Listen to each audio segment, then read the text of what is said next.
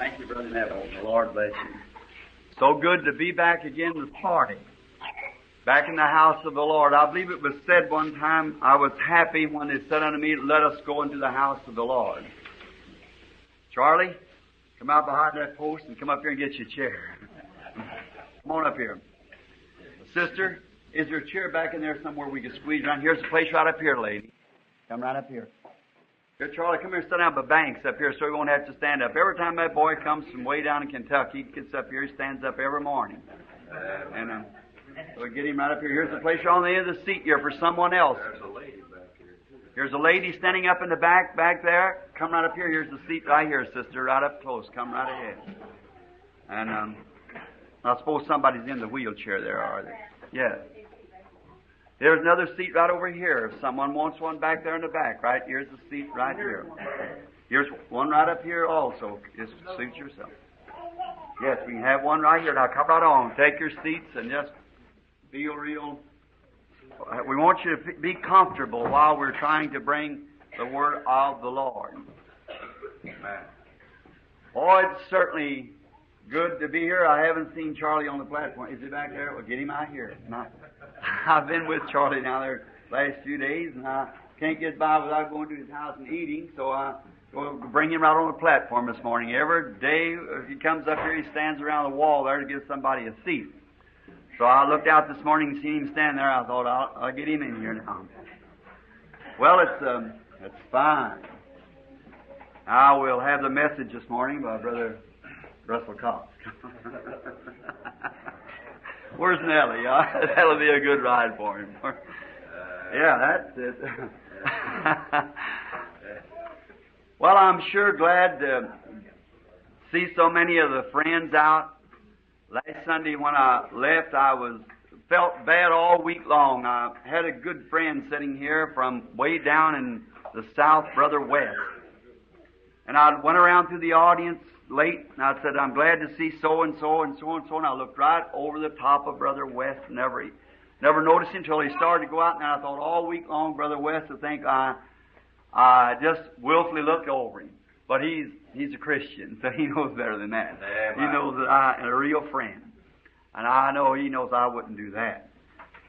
I was thinking this morning, coming down to see uh, people uh, come from different places. Now, here's Brother West back here again this morning, and Brother and Sister Kidd here from Ohio, and some of my. I know Brother Evans is here. I went to see him yesterday afternoon at motel, but I guess he was out with Brother Fred and them, and they come all the way from Macon, Georgia, here every Sunday that I speak. From Macon, Georgia. Amen. That's a long ways down there. It's about 800 miles or better, I suppose, down there. Drive it with his family every day I speak. And that's loyal. And I was um, was thinking, oh, uh, then if you got friends like that that wants to stand by you. Now, it, them people doesn't come all the way from Georgia and Ohio and different parts of the nation to this little tabernacle here to hear me. They're coming here because they believe that message. Amen. That's what they believe. They're believing that message. And then how honest and sincere must I be about that message? Because not, not only myself am I going wrong, but I'm leading someone else wrong. See? And then God's going to hold me responsible for their error because I was the one who taught it. See? And I tell you, it certainly makes you think deep when you go to thinking of terms like that. So I, I appreciate every one of you. So fine to know that you drive those hundreds of miles through hazardous roads and over these super highways where accidents and things, your faith in God steers you through somehow, brings you here and takes you back. Amen. We're so glad to have friends of that type. I pray God's rich blessings upon you. Now, last Sunday I I said, well, we're going to speak and then I'll just call a prayer line. I've been trying to work out some way to try to find a way to pray for more of the people. And if I run many more like last Sunday, uh, somebody be praying for me. uh, I got away from here nearly two o'clock, and uh, I I didn't give out prayer cards. Giving out prayer cards is a rough job. I don't know whether you know it or not. The people hate you. And um, Brother Banks Woods said the other day while we were down in Kentucky that he would volunteer and give out prayer cards if Billy didn't come in. So Billy being my own son, you know, uh, they I get a few letters. He promised me a prayer card and he didn't give it to me. A little rat. so they uh, he can't get them to everyone, and we can't get too many in the lines. He's got to protect me and and when we left, my daughter-in-law said, Bill, you'll have to get Billy back in there with prayer cards, or said, you won't last very long. And uh, so, but where I made a mistake was starting the discernment, and then someone come back and say, I forgot, Mother wanted to pray for. You know what they're coming back for? is for that discernment, you see. So, uh, but I don't blame them. I do the same thing. I do this. We're human, and we all want to live, and we want to know what to do. That's what we're but you can only get so far with those things of a gift, and then you're just about washed up when a couple of times that happens. And so, uh, Brother Banks is going to give out the prayer cards this morning, and Billy happened to come in last night, so I thought that'd be awful to have a man with a good reputation, things like Brother Woods, to give out prayer cards. Get people down on him. I guess Billy don't mind. He just had him down on him so long, so he just lets it go. All right. Now, um, now this next week I'm to be in Dallas uh, this coming Friday night at the Voice of Healing Convention. If there's any people around there, I'm to be there for that one night to speak in their convention. And I want to speak on the subject of the approach to fellowship, the Lord willing. And then uh, Perhaps maybe the following Sunday, that'll be this next coming Sunday, if the Lord willing. Now, I'm not too sure.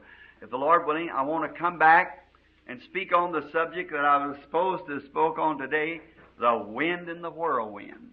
And um, I was going to pray for the sick today, and that's rather uh, kind of a sharp rebuking to the to the church for its sins, and and that's not a very good subject to speak on when you're going to call a prayer line. You got to build people's faith to a to prayer unto God, unto having faith. So I told Brother Neville to announce uh, that I would be speaking this morning on another subject, uh, building faith in people to God. The other words, rebuking people for for not keeping the commandments of God. This way, it's building people around to have faith in God. See. Amen. And back in the prayer room this morning, or the recording room back there, a little old friend of mine, Brother Kidd, 80, 80 years old, sitting here. Many of you remember when I rushed to him the other morning. He was, he was uh, about been about a year ago, close on to it now, dying, very hideously ill, and the doctors give him a week to live, or not a week. They couldn't live till the morning to bring him down here, about three mornings off. And now he had gotten down to 105 or something like that. He said a few moments ago he's back to 132. Said he felt like a boy. Brother Kidd, I wonder if you could just stand up so people know who this old preacher is. There he is. Let's say thank the Lord. A man dying with cancer in that, in that condition. He's got a lovely little companion there. I wish she'd stand up too. I just, Sister Kidd, how about you getting up there? Uh, she, see how quick she can get up? Better than I can. God bless brother and sister Kidd. May God's rich blessings rest upon. Thank you, sister. They struggle through the mountains of Kentucky, up and down the paths of the coal fields, run out, kicked out, made fun of, persecuted, live on whatever they could, grind up corn and find on the track somewhere, and live for the kingdom of God. And 80 years old, preaching the gospel yet. Now they got too old to go out, so I pray over prayer cloths and send them to them, and they just just keep taking them out to hospitals and things like that. People come in and get it. Now that's really got it in the heart, isn't it? If you can't go out to meet him, you can send him out a prayer cloths like that. The people having faith. That's very fine. Brother Rogers, then also somewhere in here today, Brother Creech's father-in-law, very dear friend of mine. You go into his house just like uh, you go down to Charlie and Nellie's and them down there now and down in Kentucky. And and used to go down there and hunt all the time with him. And here not long ago, uh, about 13 months ago, the doctor opened him up with cancer and said he's gone. And I thought my precious old friend, a veteran of the First World War, a real gallant man, his family. I baptized him in the name of Jesus Christ many years ago for the remission of his sins, knowing then that he is placed into the, the body of Christ and was ready to go to meet God. I thought my precious brother is going to move on now. was right after that vision, or before that vision come to me about heaven. Then I went down to see him, and in the room come a rainbow. God changed things. That's been 13 months ago, and he's still here today eating. He's taken some kind, of, taking some kind of a sulfur tablets, burning him in his throat here, and he's going to be in the prayer line. I think this morning.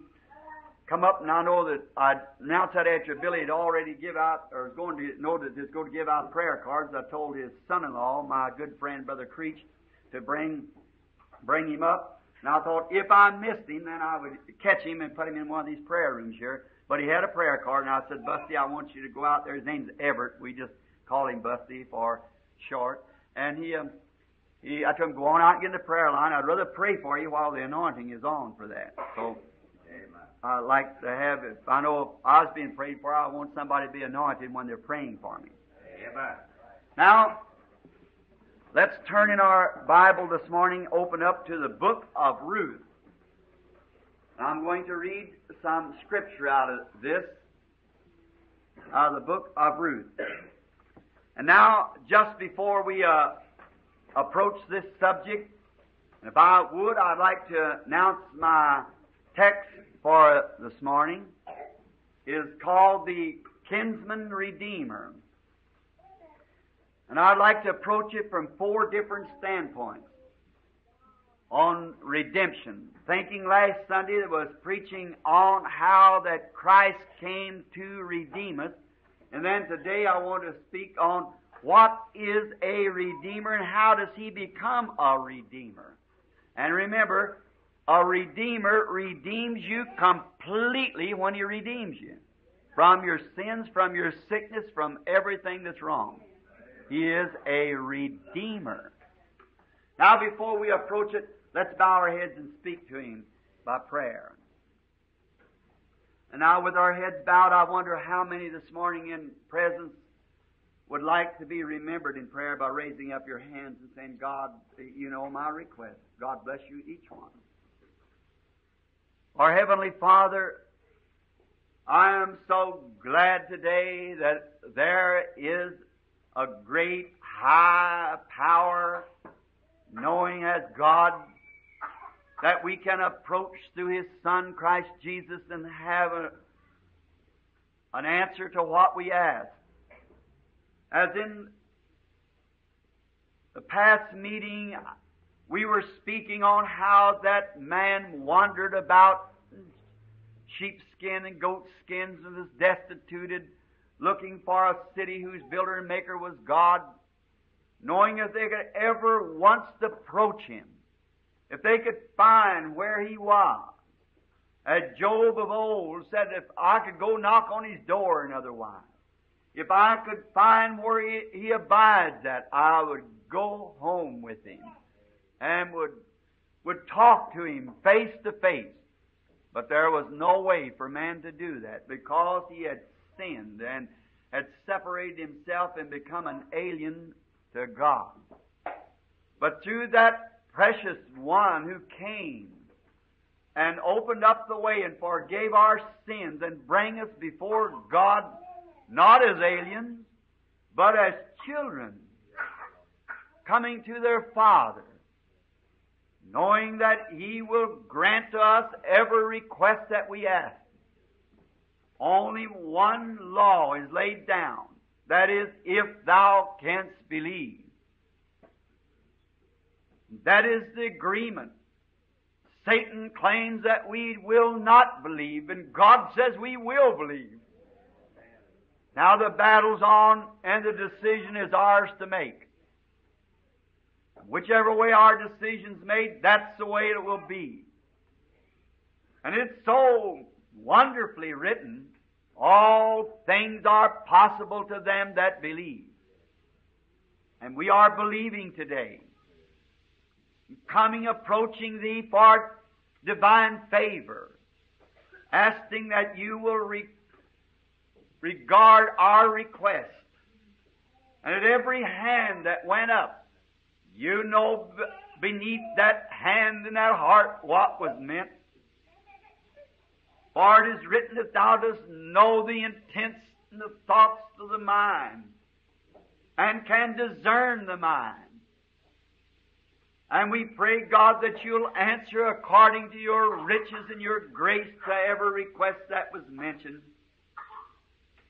We would also ask today, Lord, that you'll help me, the most needed one perhaps of the audience, knowing that place before me here is the purchase of the blood of the Lord Jesus.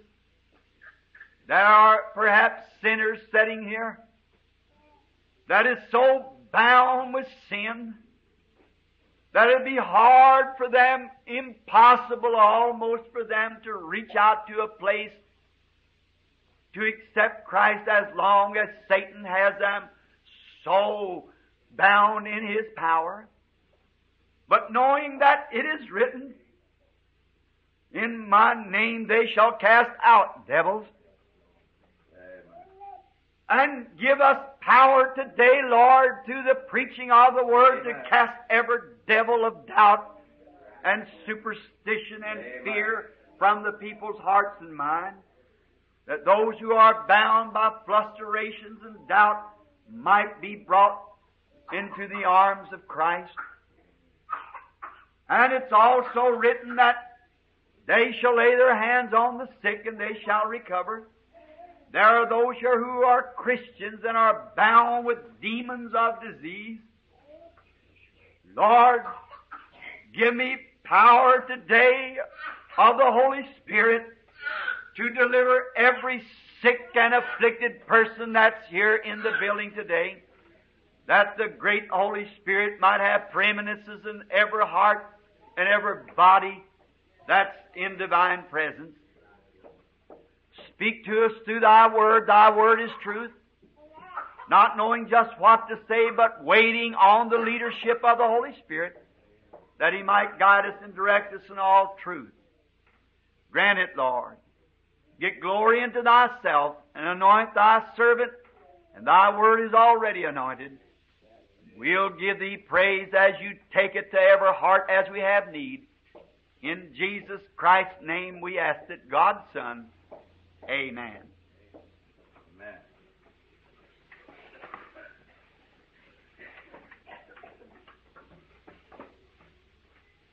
Before reading, I might say this little slogan that I like so well. If you have rivers that you cannot cross, and you have mountains you cannot go through, just remember, God in heaven specializes in things others cannot do. I'm reading from the book of Ruth, the first chapter. It came to pass in the days when the judges ruled, there was a famine in the land, and a certain man of Bethlehem, Judea, went to sojourn in the country of Moab, he and his wife and his two sons. And the name of the man was Elimelech, and his wife Naomi. Names of his sons Mahlon and Chilion. Ephraimites of Bethlehem, Judea. And they came into the country of Moab and continued there. And Elimelech, Naomi's husband, died. She was left and her two sons.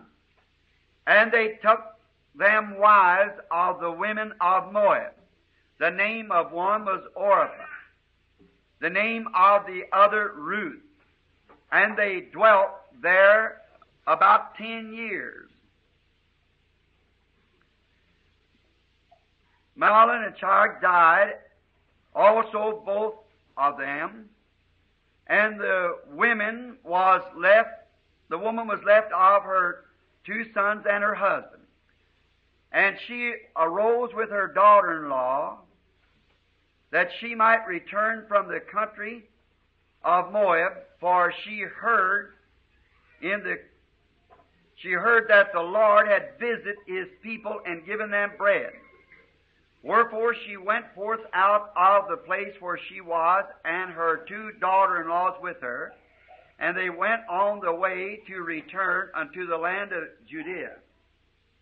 And Naomi said unto her two daughter in laws, Go, return each to her mother's house, and the Lord deal kindly with you, as ye have dealt with the dead and with me. And the Lord grant unto you that ye may find rest, each of you, in the house of her husband. Then she kissed them, and they lifted up their voices and wept. And they said unto her, Surely we will return with thee unto thy people. And Naomi said, Turn again, my daughters. Why will you go with me? Are there yet any more sons in my womb that ye may that may be your husband? Turn again, my daughters. Go your way, for I am too old to have a husband. If I should say I have hope, if I should have a husband also tonight, and should also bear sons, would ye tarry for them until they be grown? Would you stay for them for their from having husbands? Nay, my daughters, for it grieveth me much for your sake that the hand of the Lord is gone out against me. And they lifted up their voices and wept again. And Orpah kissed her mother-in-law, but Ruth clave unto her. And she said, Behold, thy sister-in-law is gone back unto her people and to her God. Return thou after thy sister-in-law. And Ruth said, Entreat me not to leave thee, nor to return from following after thee. For where thou goest, I will go, and where thou lodgest, I will lodge. Thy people shall be my people, thy God shall be my God. Where thou diest, will I die, and there will I be buried. The Lord do so to me, and more also, if aught but death part me and uh, thee and me. I want to title this little talk this morning as I teach it, trying to bring a faith to you of redemption and what it is and how to receive it. I want to title it The Kinsman Redeemer. Now, to redeem anything is to bring it back. Something that's been lost, like put in a pawn shop. And you go down and redeem that. It's redeemed by a price. Then it's your personal um, property after you have redeemed it. But the law of redemption in Israel had to be a kinsman to redeem a property or something that had been lost. Our story starts out in the time of the rulers of Israel, which was the judges after the death of Joshua. And to find a very beautiful picture of this, read about the first five or six chapters of First Samuel, and you will you will get the real story of it. But we're going to jump along now to get the main context out of this which some time ago I started on this book of Ruth and was for three or four weeks getting through it. Started on the book of Revelations once and took all year about to go through it. Just every little scripture ties one with the other entirely through the Bible. It's beautiful. Therefore we know the Bible is inspired.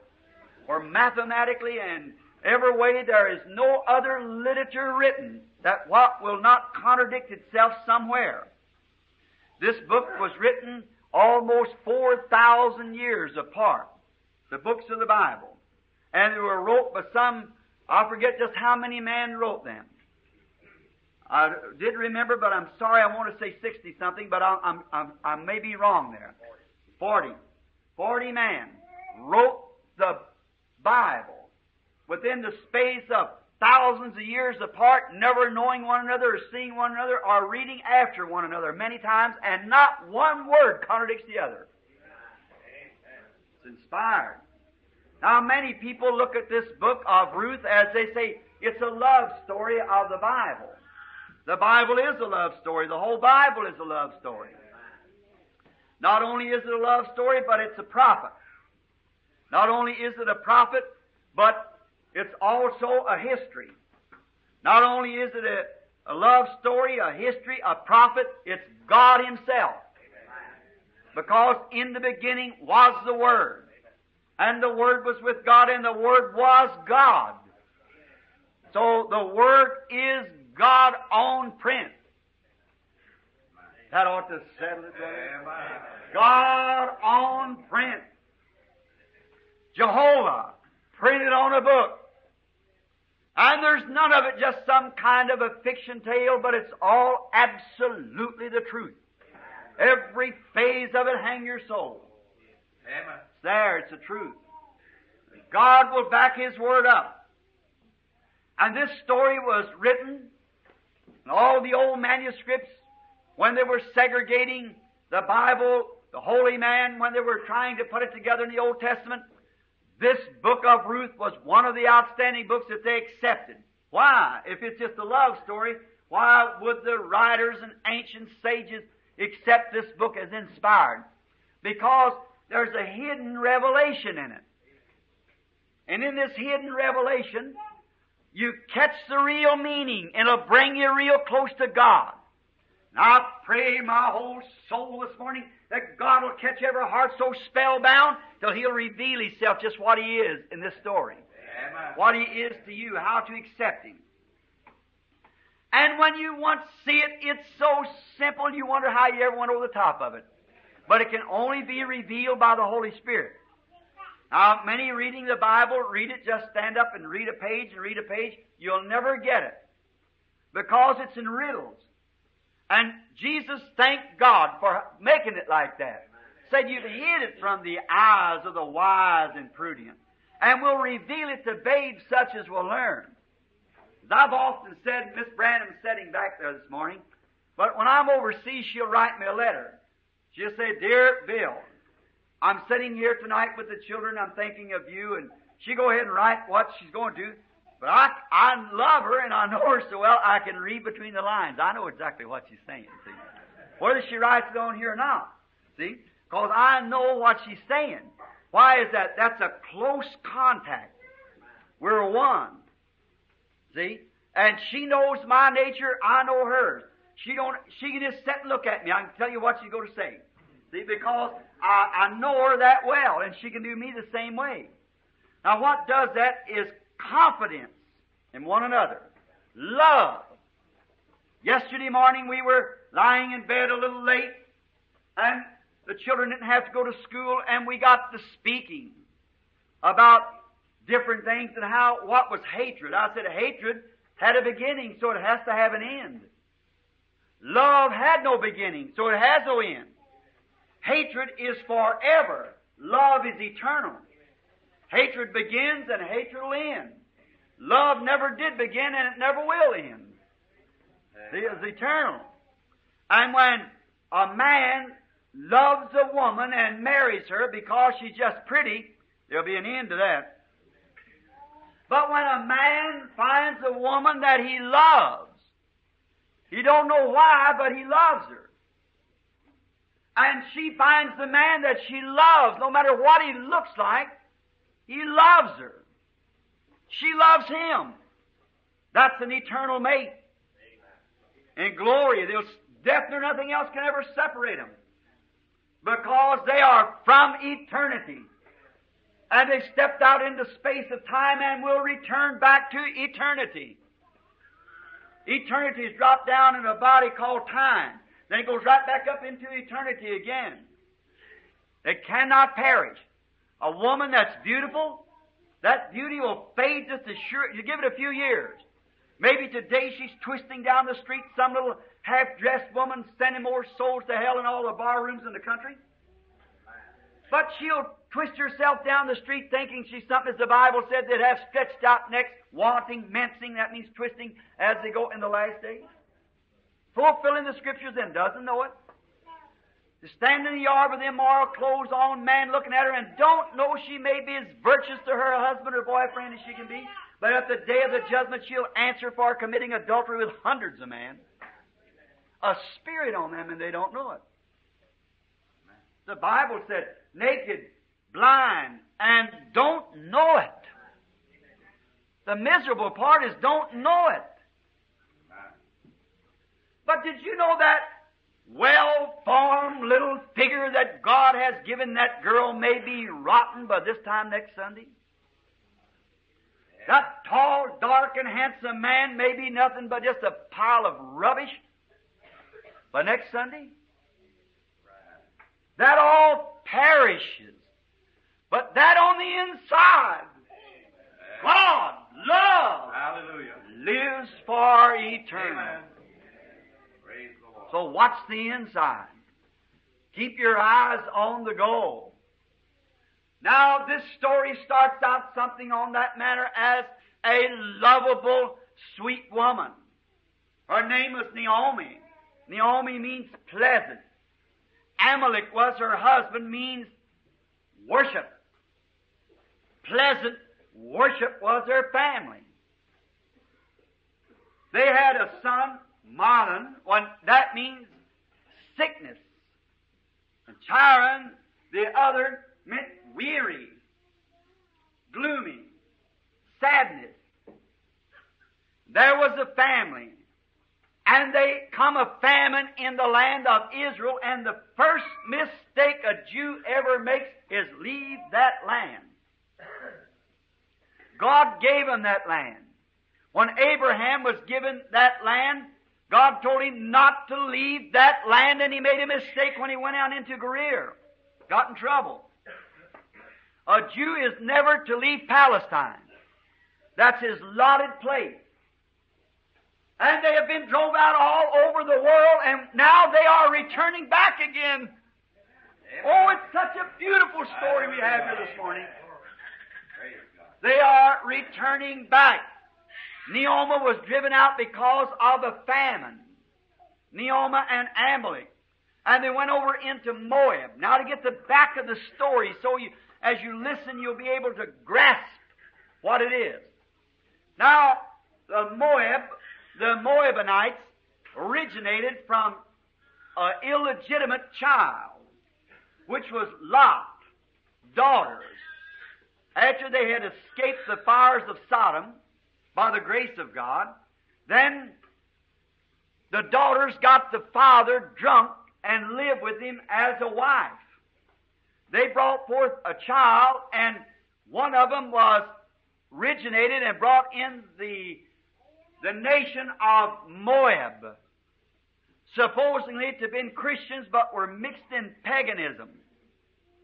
And see, leaving the promised land, no matter how bad it was, to sojourn over in another land brought trouble. And any time that a believer gets off of his God given ground, many times in politics, this election coming up and so forth, a good man can be a good man and he'll wander off of those grounds like a certain minister I know run to be mayor of the city. And when he did got off of his ministerial grounds and Satan overtook him. If any Christian gets off of those grounds, well, I'll just go down tonight, sit with the boys in the pool room a while. I'll do no harm. I'll just take one little drink. You're off your grounds. Come back. You're only setting your course for trouble. Oh, all the rest of the girls smoke. I'll just try one. You're off your grounds. Don't do that. Stay in the homelands. Don't, well, everybody over here, they call me old fogey, they call me old fashioned. Stay there anyhow. Amen. That's your place. Stay in Christ. Naomi, because of the famine, wandered out from the lands and went into Moab. finding bread. She didn't have to do that because the rest of them stayed in Judea, Bethlehem. Bethlehem means the Bethlehem house of God, house of praises. And they stayed there, and she wandered away with her husband, and her two sons married Moabite girls. But if God has ordained something to be done, it'll happen anyhow. That's the reason I certainly believe in predestination. Amen. God's foreknowledge of things. Then we find over there death struck the family and they started back. Killed the boy, got died, both boys died, and the father died. And Ruth started back Orpah and Naomi.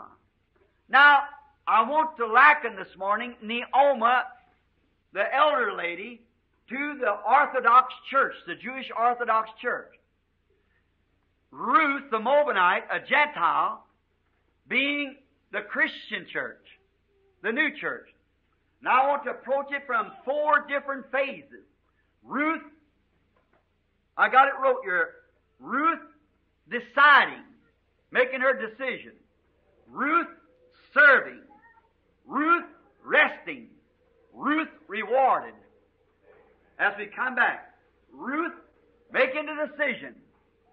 Ruth, after she made her decision, then Ruth is serving. Then Ruth is resting. Then Ruth is rewarded. Now on the road back, there come a time as her being a type of the church or the Christian, as each individual represents the entire Christian nation. Did you know that?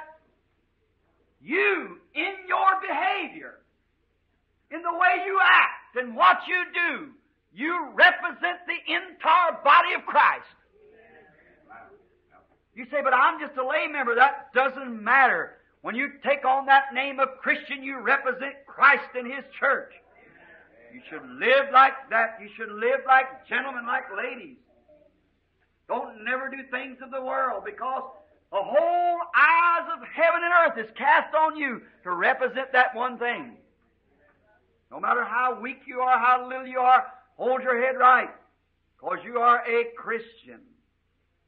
Now Ruth was a pagan, served idols, and so was Orpah.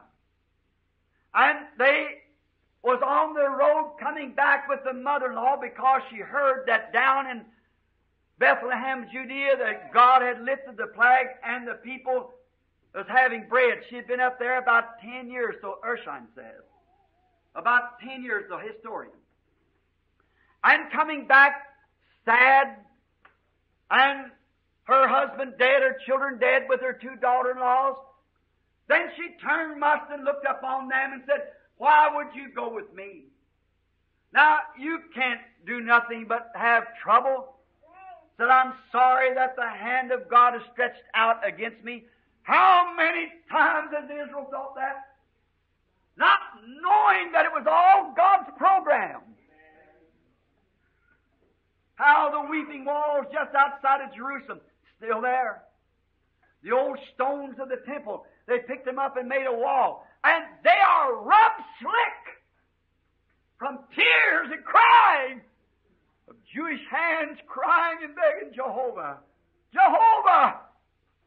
They don't realize that their hour is close at hand now. Amen. Weeping walls. These stones once housed in the Ark of the Covenant. King David looked upon these stones. Oh, Jehovah, where art thou? See, not knowing that soon her king will return, her Redeemer. They had to be cast out for a little season. Naomi wondered, why has the hand of the Lord been so cruel to me, my daughter-in-law? God has cast me out. I'm an outcast. I don't know what I ever done, but I'm an outcast. See, God was working His program because all things work together for good to them that love God. No matter what it is. She said, You return to your mother and find rest in your mother's house. Your husband is dead and you're young, beautiful women. Go back Go back to where you come from. There find rest. God be merciful to you because you was kind to the dead. And you've lived virtuous since your husband has died. And you've been kind to me, an old widow woman with no husband. And you stuck by me. Return back and God give you rest in your house. They wept. She said, if I'm old, I could have no more children. But if I would have a husband and have a child, what good would it do? You never wait for that baby. That was actually the law in them days. That if a brother died, or and his the other brother being single, he had to take his wife to raise up a name to his dead brother. But he said you wouldn't wait on him, these babies. So return back and find yourself rest in your husband's houses. Go back to your mother. And Orpah, a type of the lukewarm church that once started. A type of the church that won't go all the way. She said, That sounds pretty good.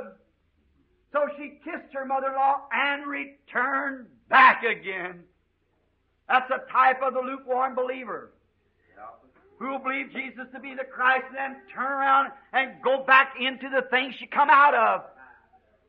To the man that'll take the way with the Lord's despise using and turn around. Go back like a dog to its vomit and a hog to its wallow, as the Bible said. Now, she returned back to her gods. Many times we return back to the gods of our of our beginning. Maybe we got eyes of lust at the wrong thing. We'll turn back to lusting again. Maybe we got idols of drinking, idols of smoking, idols of lying, idols of stealing, all kinds of idols, and then profess and be baptized, and then turn again. What a sad thing. You remember, it never spoke her name no more. She was excommunicated because of her decision. The lukewarm church, the lukewarm believer, as each believer represents the church. Every American represents America. Every German represents Germany. Every Christian represents Christ.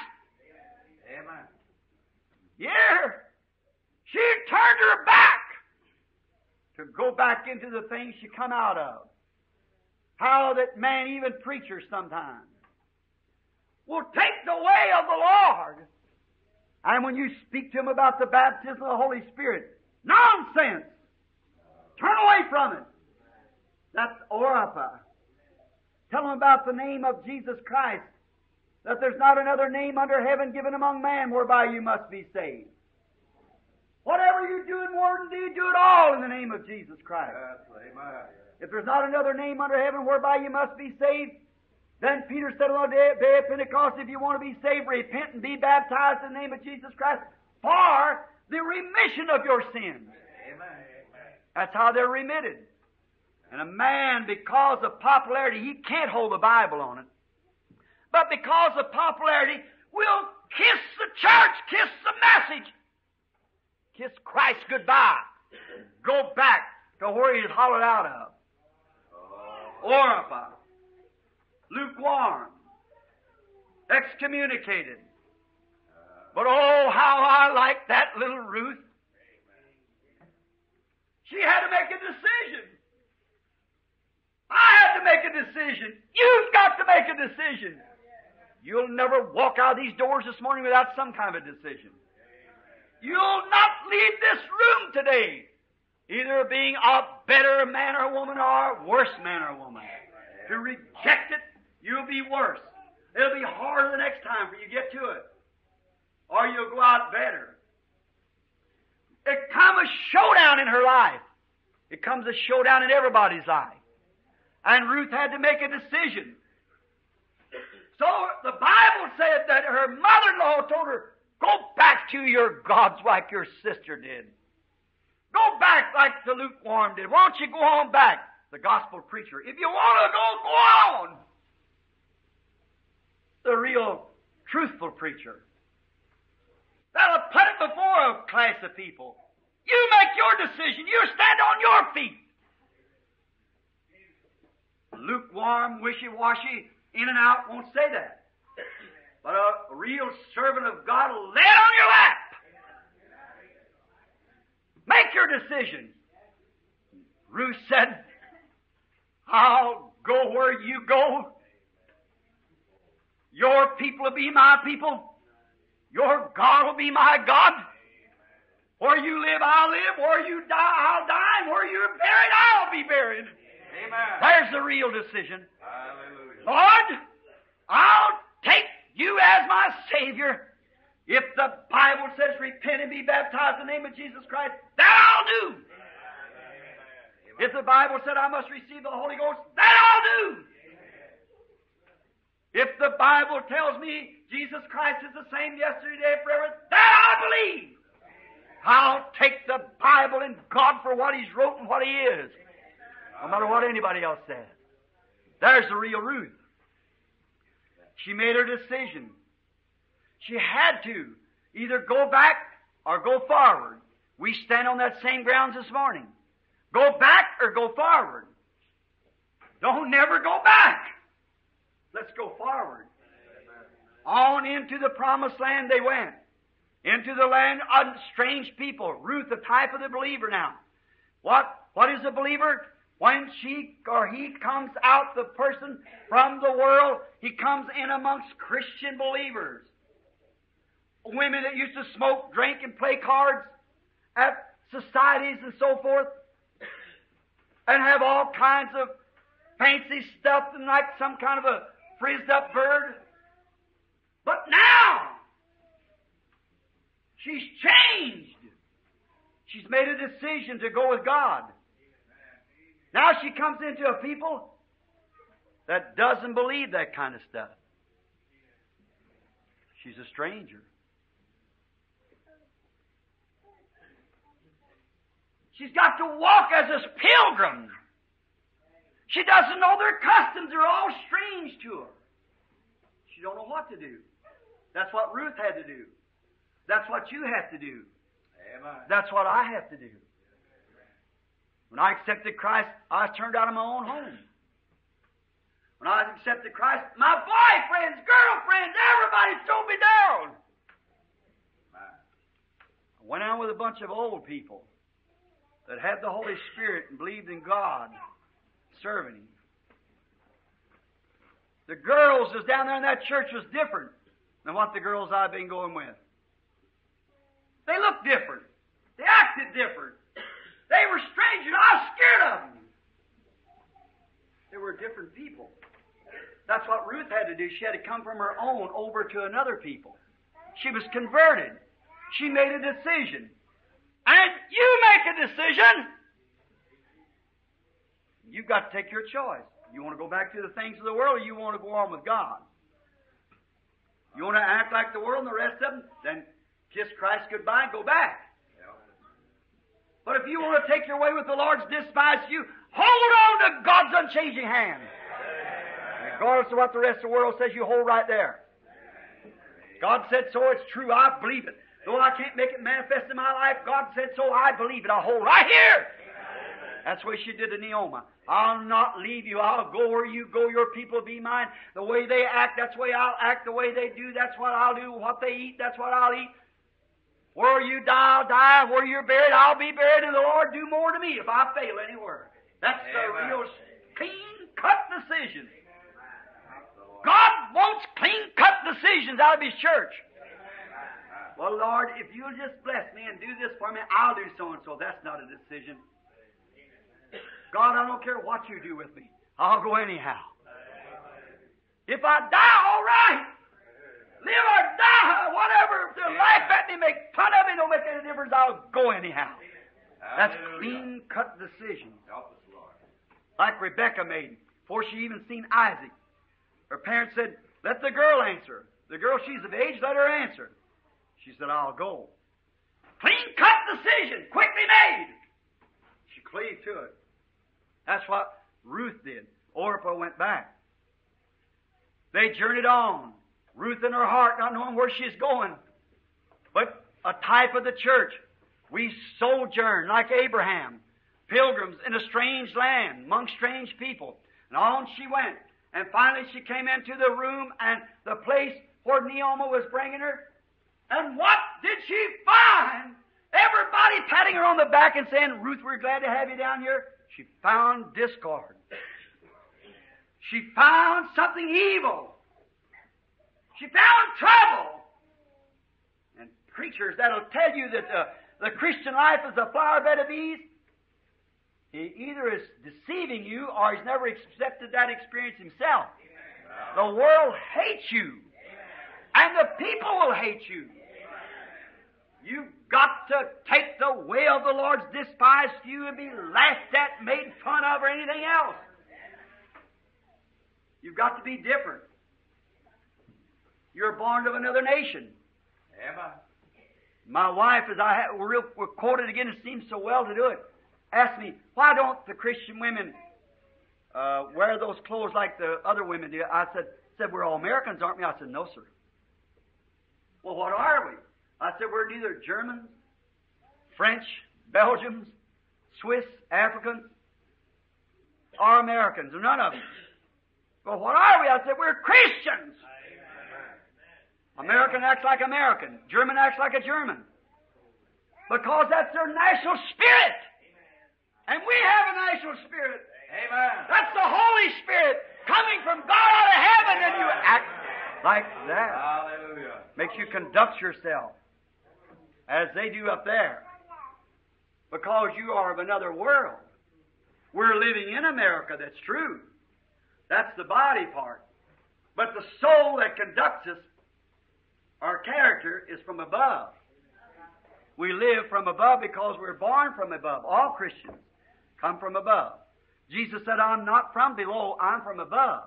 If I was from below, my subjects would fight for me.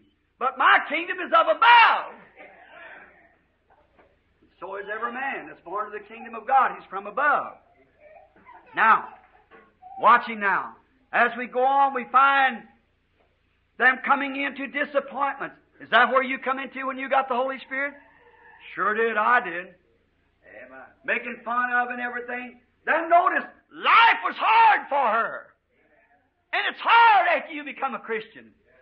Because you got to adjust yourself Amen. from one life of gaiety and pleasures of the world to another life of consecration to God. Hallelujah. You've got to readjust yourself over into this side. And Ruth had to adjust herself from being in a land where plenty to eat and everything respected to a people that was laughing, making fun of her, and to a land she gleaned in the field for what she eat. Put it in her scarf and take it home and beat it out and make some bread and her and her mother-in-law eat it. When she was there, they come to find out while she was gleaning or going to glean, now she made her decision. That was her deciding. Now the next thing she has to do is serve. And that's what the church has to do. The church, after making your decision, you have to serve. Serve God according to His diagram, according to His blueprint. You must serve God. Ruth making a decision. Now Ruth serving under her decision. Now watch just a minute. Now she goes into the field to glean. Now, her mother told her, which the Old Testament telling the New, you know, her mother told her, said, We've got a kinsman, and his name is Boaz. He's a rich man. And he's a near kinsman. You go to his field.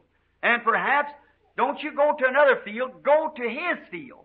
How the Holy Spirit tells us not to get off in some kind of a, a church book, some kind of a catechism, but go to God's field, the Old Testament, the Bible. Amen. Don't say, well, uh, we'll say this and we'll say this for a prayer, we'll have this. Stay right with the field. Go right in, because he's a near kinsman. God's Word, the Old Testament is a near kinsman to the New. The old church is a mother to the new church. See? The Christian, a believer. Don't go to another field. Stay right in his field. And maybe someday you might find grace with him. And one day while she's out in the field, this rich young man by the name of Boaz, a ruler, a wealthy man, came by and he saw her. Oh, when he saw her, he fell in love with her. He thought she was a wonderful woman. He liked her character. You remember he said, I know, and the people know that thou art a virtuous woman.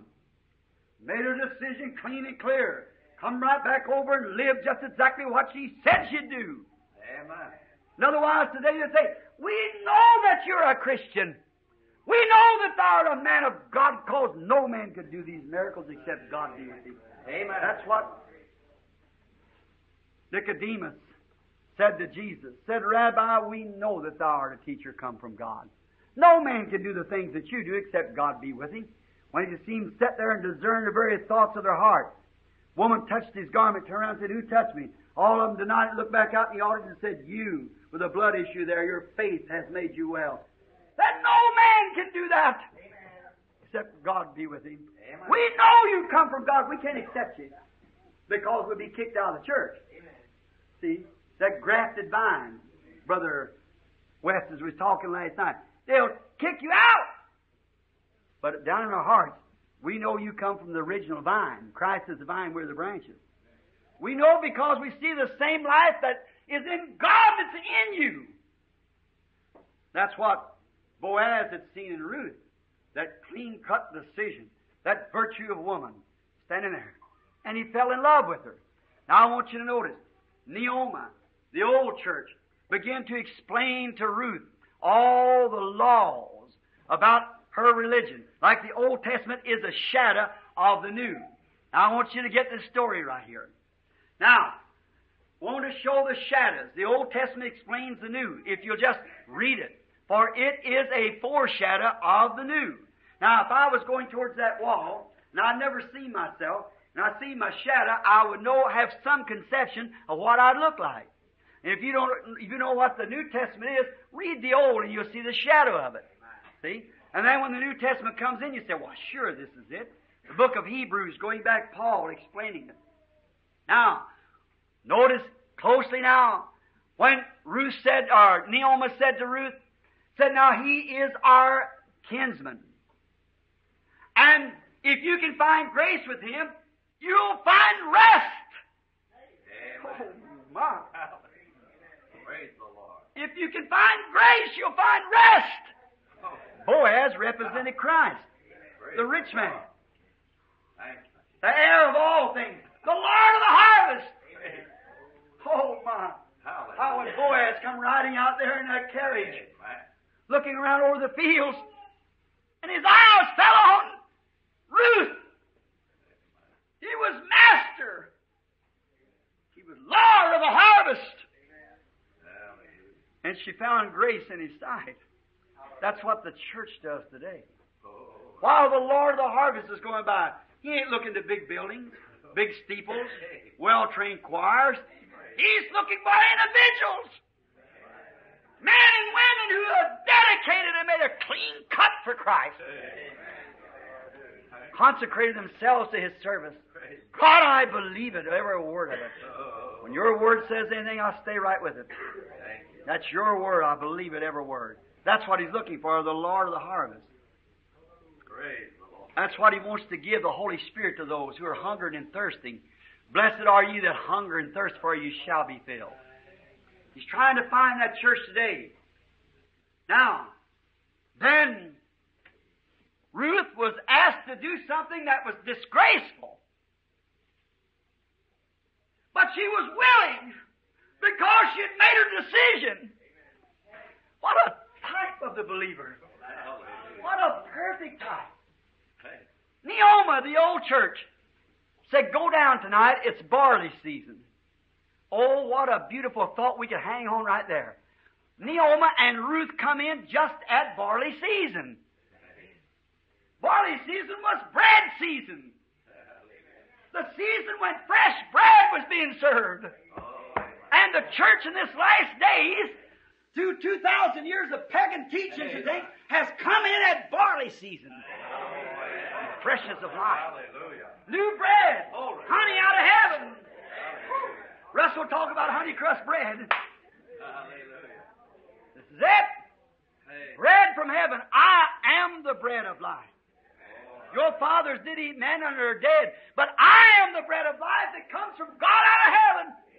If a man eats this bread, he'll never die. And the church in this last days is brought in right now at barley season. Ruth, a Gentile, excommunicated, run off, has been brought in as to be accepted as bride, Christ. Come in just at barley season. He said, Now put thy garments up on thee, not take thy garments off of thee. How contrary to today. Gird thy garments upon thee when you go to meet him. He's going to whittle barley tonight. Go down and put your garments on you. Cover yourself up to meet him. Today they want to uncover themselves. Cover yourself. Go down because he winnows barley. And then mark the place where he lies down. Did you do it? On Golgotha. Many years ago, I marked in my heart where he laid down his life that he might take me. Mark the place that he lies down. Watch where he laid. That's what every believer should do. Mark what he done for you. Last Sunday's message on the visit to Calvary. Mark what he did for you. She said, Mark where he lies down. Then, when he lies down to sleep, to rest, you go lie down by his feet. Not his head, his feet. Unworthy. And take the blanket that he was covered with and pull it over you. You see it? Hallelujah. Oh my! I know you may think I'm a fanatic, but that just suits me just right. That Spirit of God. Mark where He laid Calvary, where He laid down in the tomb, in Gethsemane. Mark and crawl up to His feet. Lie down there and die yourself. To your, there you are. Cover yourself over with His skirt. She said the skirt, she called it. And Ruth said, What you say that I'll do? Oh, what a clear cut decision for a believer. What the Bible says that I'll do. It says, Repent, be baptized in the name of Jesus Christ, I'll do it. If it says, Go ye into all the world preach the gospel, I'll do it. If it says whatever it says, Jesus Christ the same yesterday, forever, what it says to me to do, I'll do it. See? The church taking its orders from the Word. She laid down. Now remember, that was a disgrace for that young widow woman to be laying by the side of this man at his feet. A disgrace to the outside world. Oh, can you stand it? Here it is. Look, look. This is it. The church, the young woman, the young man, the older young, is asked to separate themselves from the world and come into a place, a kingdom of the Holy Ghost that's disgraceful to the world. In their own heart, they know what it's all about. But to the world, they become a fanatic. They become a holy roller. Or something on that idea. Some disgraceful name. But the church is asked to do it. Are you willing to mark the place and lie down? Let the world call you anything they want to. Praise The old song you sing, I've started to walk with Jesus alone, see? Have for a pillow like Jacob a stone. Now take the way with the Lord's despised few. I've started in with Jesus. Now I'm going through. That's it. No matter, I'll pay the price whatever others do. If it means disgrace, if it means to lose home, if it lose, lose family, all your associates, girlfriends, boyfriends, whatever it means, I'll go alone. I'll take the way. If my neighbor says I'm a holy roller, a Pentecostal, or a fanatic, I don't care what they say. It don't make one bit of difference to me. Praise Lord. I've started it. I've made my decision clear, and I'm going through. Uh, he was the only one could give her rest from them weary fields of gleaning. Oh, it was so sweet. When Boaz, when he found her out in the field, I can't miss this. Boaz found her out in the field. He said, Look. He said, Who are you? He said, My name is Ruth. Oh, the Moabite that come to sojourn with us. Yes, I've heard of you. You don't go to another fields.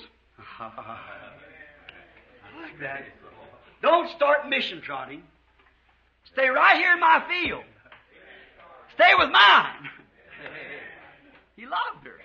Stay here. Stay with me. Don't go to running around from place to place. Stay here. If you believe the message, hang on to it. No matter what the price is, stay right with it. Go right on. If it means sacrifice this, that, or the other, and I have to quit my drinking, I have to quit my stealing, lying, I, I'm going to stay right with it. See? And he said again, he said, Now, they're not going to bother you because I've commanded the young man not to insult you. Amen. I like that. His protection. Who said that? The Lord of the harvest. Amen. Be careful, don't touch my anointed. Do my prophets no harm. Is that right? For verily I say to you, be far better for you that a millstone to hang at your neck and drown in the sea, even to offend the least of these my little ones. Is that right? Don't even bring offense to them. I've commanded them not to touch you. Oh, watch that world. It's a persecutor. They got their hour coming. Then he went to the young man, the others. He said, Now she's gleaning for life. Now I want you reapers, you angels. In other words, that's what they are. Said, I want you angels, you reapers, every once in a while to drop a handful on purpose. Don't let it all be so tiresome for her. But every once in a while, let her hear a good message. Let a good power of the Holy Spirit cover her over once in a while. To let her know that I'm still there. Do some kind of a healing amongst her. Show some kind of a sign or a wonder that she'll know that I'm in her midst. That's it. Don't you like to find them handfuls? I hope we find some this morning, don't you? A handful of fresh barley. The Lord do something that He used to do, something that we know He does. He's Lord of the harvest. He's the only one who can drop the handful. I command the angels to go down to that meeting this morning. I want them to do a certain, certain thing. I've commanded them. And they'll do it. Oh, yeah. Oh, my. Amen. Now here, she had to take on the disgraceful part. Hallelujah. To lay down, be called anything she wanted to. She could be called a prostitute, you know. She could be called an ill-famed woman, yet she wasn't. And she was following exactly the rules that was laid down to her. So she goes down and covers herself over with the cover that he had on. Where'd she go? To the tomb. Where did she go? Where he was resting. That's where I found it. Down at the cross where my Savior died. Hallelujah. Down there for cleansing from sin I cried. There to my heart was the blood applied. Oh, amen. There is a fountain filled with blood drawn from Emmanuel's veins, Hallelujah. where sinners plunge beneath the flood, lose all their guilty stain. Mark the place where he laid down. And lie down there with him. Are you ready to go to Calvary this morning, as I said last Sunday? Have you marked the place in your life? Have you brought yourself to that place where Jesus is crucified? Oh, we appreciate that, but what about your crucifixion? Are you ready to take the way with the disgraceful name as being a holy roller, a religious fanatic, or whatever, whatever the price is? Have you marked the place so you go there and lie down with him and say, Lord, here I am? Then what? Pull the same cover that was on him over you. Amen. A woman once said to our Lord, Lord, grant unto my two sons that one will sit on the right hand and on the left hand in the kingdom. He said, Can you drink the cup that I drink? That's the bitter persecution. Yes. And can you be baptized with the same baptism that I'm baptized with? Lay down. Pull the same cover over. Elijah was taken up. And Elijah threw down the same cover that he had to cover Elisha with a double portion of his spirit. Same thing, just a double portion. Same power, no more, No more, more, no greater, just a double portion of it. Like Moses, when he was tired, his father-in-law said to him, said, You're wearing yourself out. Pray God to take your spirit and put it on others. And he prayed, he took the spirit and put it on 70 others, and 70 began to prophesy. They didn't have any more power, they had more machinery. That's all. They just had more machinery. That's the way it is today. One man can't do it. God's got his machinery working everywhere. But it's the same power. Same power. Same Holy Spirit. Same Jesus. Now, took the blanket, the Holy Spirit. When she died out to herself, marked the place where he died, where he laid down to rest. Then she laid down and tucked the blanket that was over him and pulled it over her. And the man woke up. Said, Who's there? He said, She said, I'm Ruth, the Moabite, thy handsmaid. And he raised up. He said, I perceive and know that you're a virtuous woman. Amen. Amen. Doesn't that just send little shivers to your soul? Thou art a virtuous woman. What did she answer back? But thou art a near kinsman. Amen. Amen. Thou art a near kinsman. You can do for me. You can put me to rest. I've come here and laid here, not for an immoral woman. I've laid here not to be a show off, to show people I can speak with tongues, to show people I can dance in the spirit, to show people I can shout, but I've come here because you are a near kinsman. Amen. Not to show that I can do something big, but you're my kinfolks. I've come because you're a near kinsman, and you're the only one can redeem me. See the attitude of the, the convert to the Christ, to the church? See? See? Thou art my near kinsman. And he said, Thou art a virtuous woman. And I am thy near kinsman. Amen. Now, cover yourself up. Lie down until morning. Oh, hallelujah. Praise the Lord. Just cover up in that blanket. I'm your kinfolks. Lay there until morning, resting. Amen. Oh, Amen. I am your near kinsman. Rest. Amen. When morning come, way before the break of day, she gathered up a great big bunch of barley, six measures, I believe it was, and put it in her, her little shawl, and went home. And and Naomi said, "My daughter, after you raised up the altar and went back, now what's going to happen, Mama? What's going to take place now? Well, Rest. Amen. hallelujah.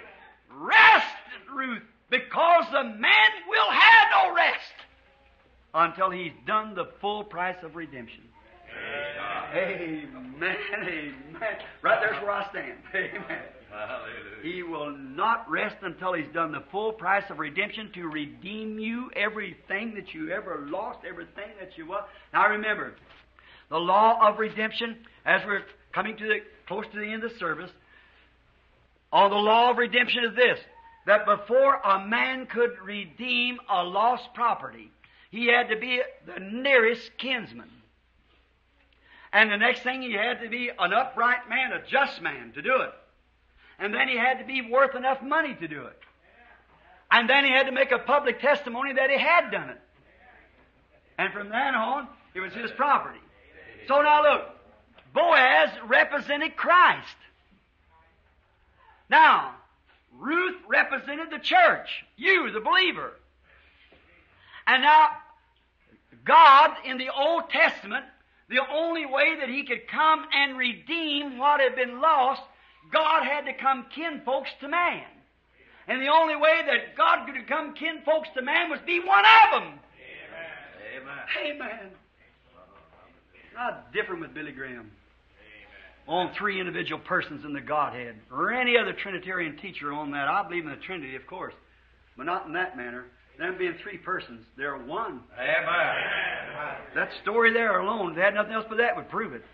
God became man. He had to become kinfolks. And he couldn't be God in us sinners, creations of his creation, created beings of his creation, because we couldn't be kinfolks there. So God became man, that man might become God, become God. Hallelujah. Amen. We, being man, sinners, God became a sinner. Took our sins upon him, knowing no sins yet was a sinner because our sins was placed upon him, that we, he become me that I might become him. See, he become a sinner that I might become a son of God. Amen. He become a sinner that you might become a son of God. And now we are sons and daughters of God. Because God was made kinfolks. When he took on the form of our flesh as born of a woman. God. Not another person, God himself. 1 Timothy 3.16 said, Without controversy, great is the mystery of godliness, for God was manifested in the flesh. God. In the beginning was the Word, the Word was with God, and the Word was God, and the Word was made flesh. The Word made human being, become a kinsman. He become a man.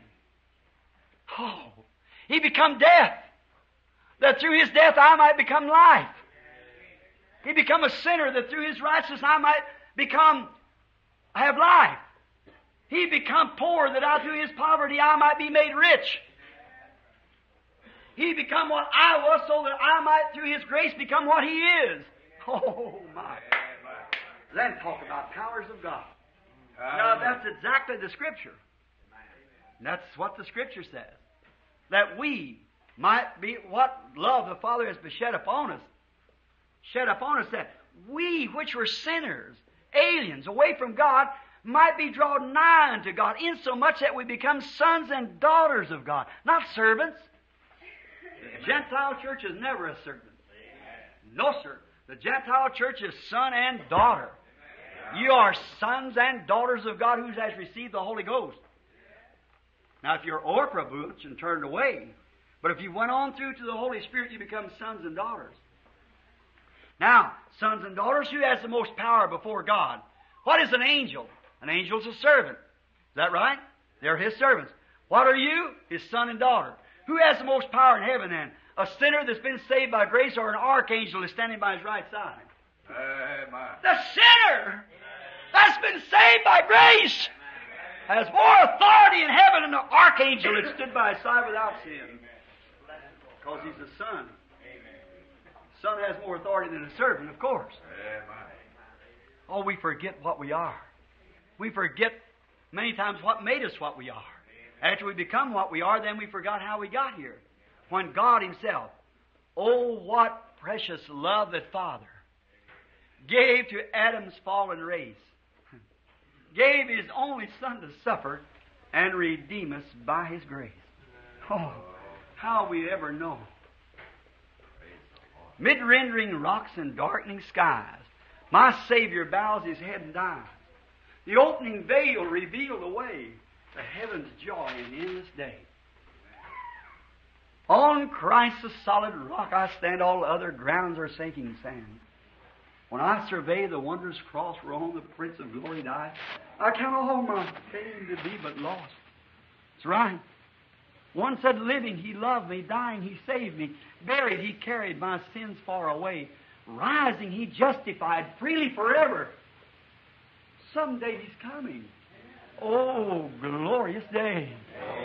It's been the theme of the church. It's been its outlook. It's been its heart. The earth bathed with the blood of this kinsman redeemer to redeem Adam's fallen race. Notice, here he is, a kinsman redeemer. Now, the first thing he had to be a worthy man. Who was any more worthy than Christ? Than Jesus. Then another thing, he had to have the money. He had to be able to do it. He owned the heavens. He proved he did. He could take five loaves of bread and two fish and feed five thousand, take up five basketfuls of fragrance. He could pump water out of a well and turn it into wine. He could take a fish out of the ocean and take coins out of his mouth of gold. Hey, man, he wasn't a, but he become poor. Not a place to lay his head.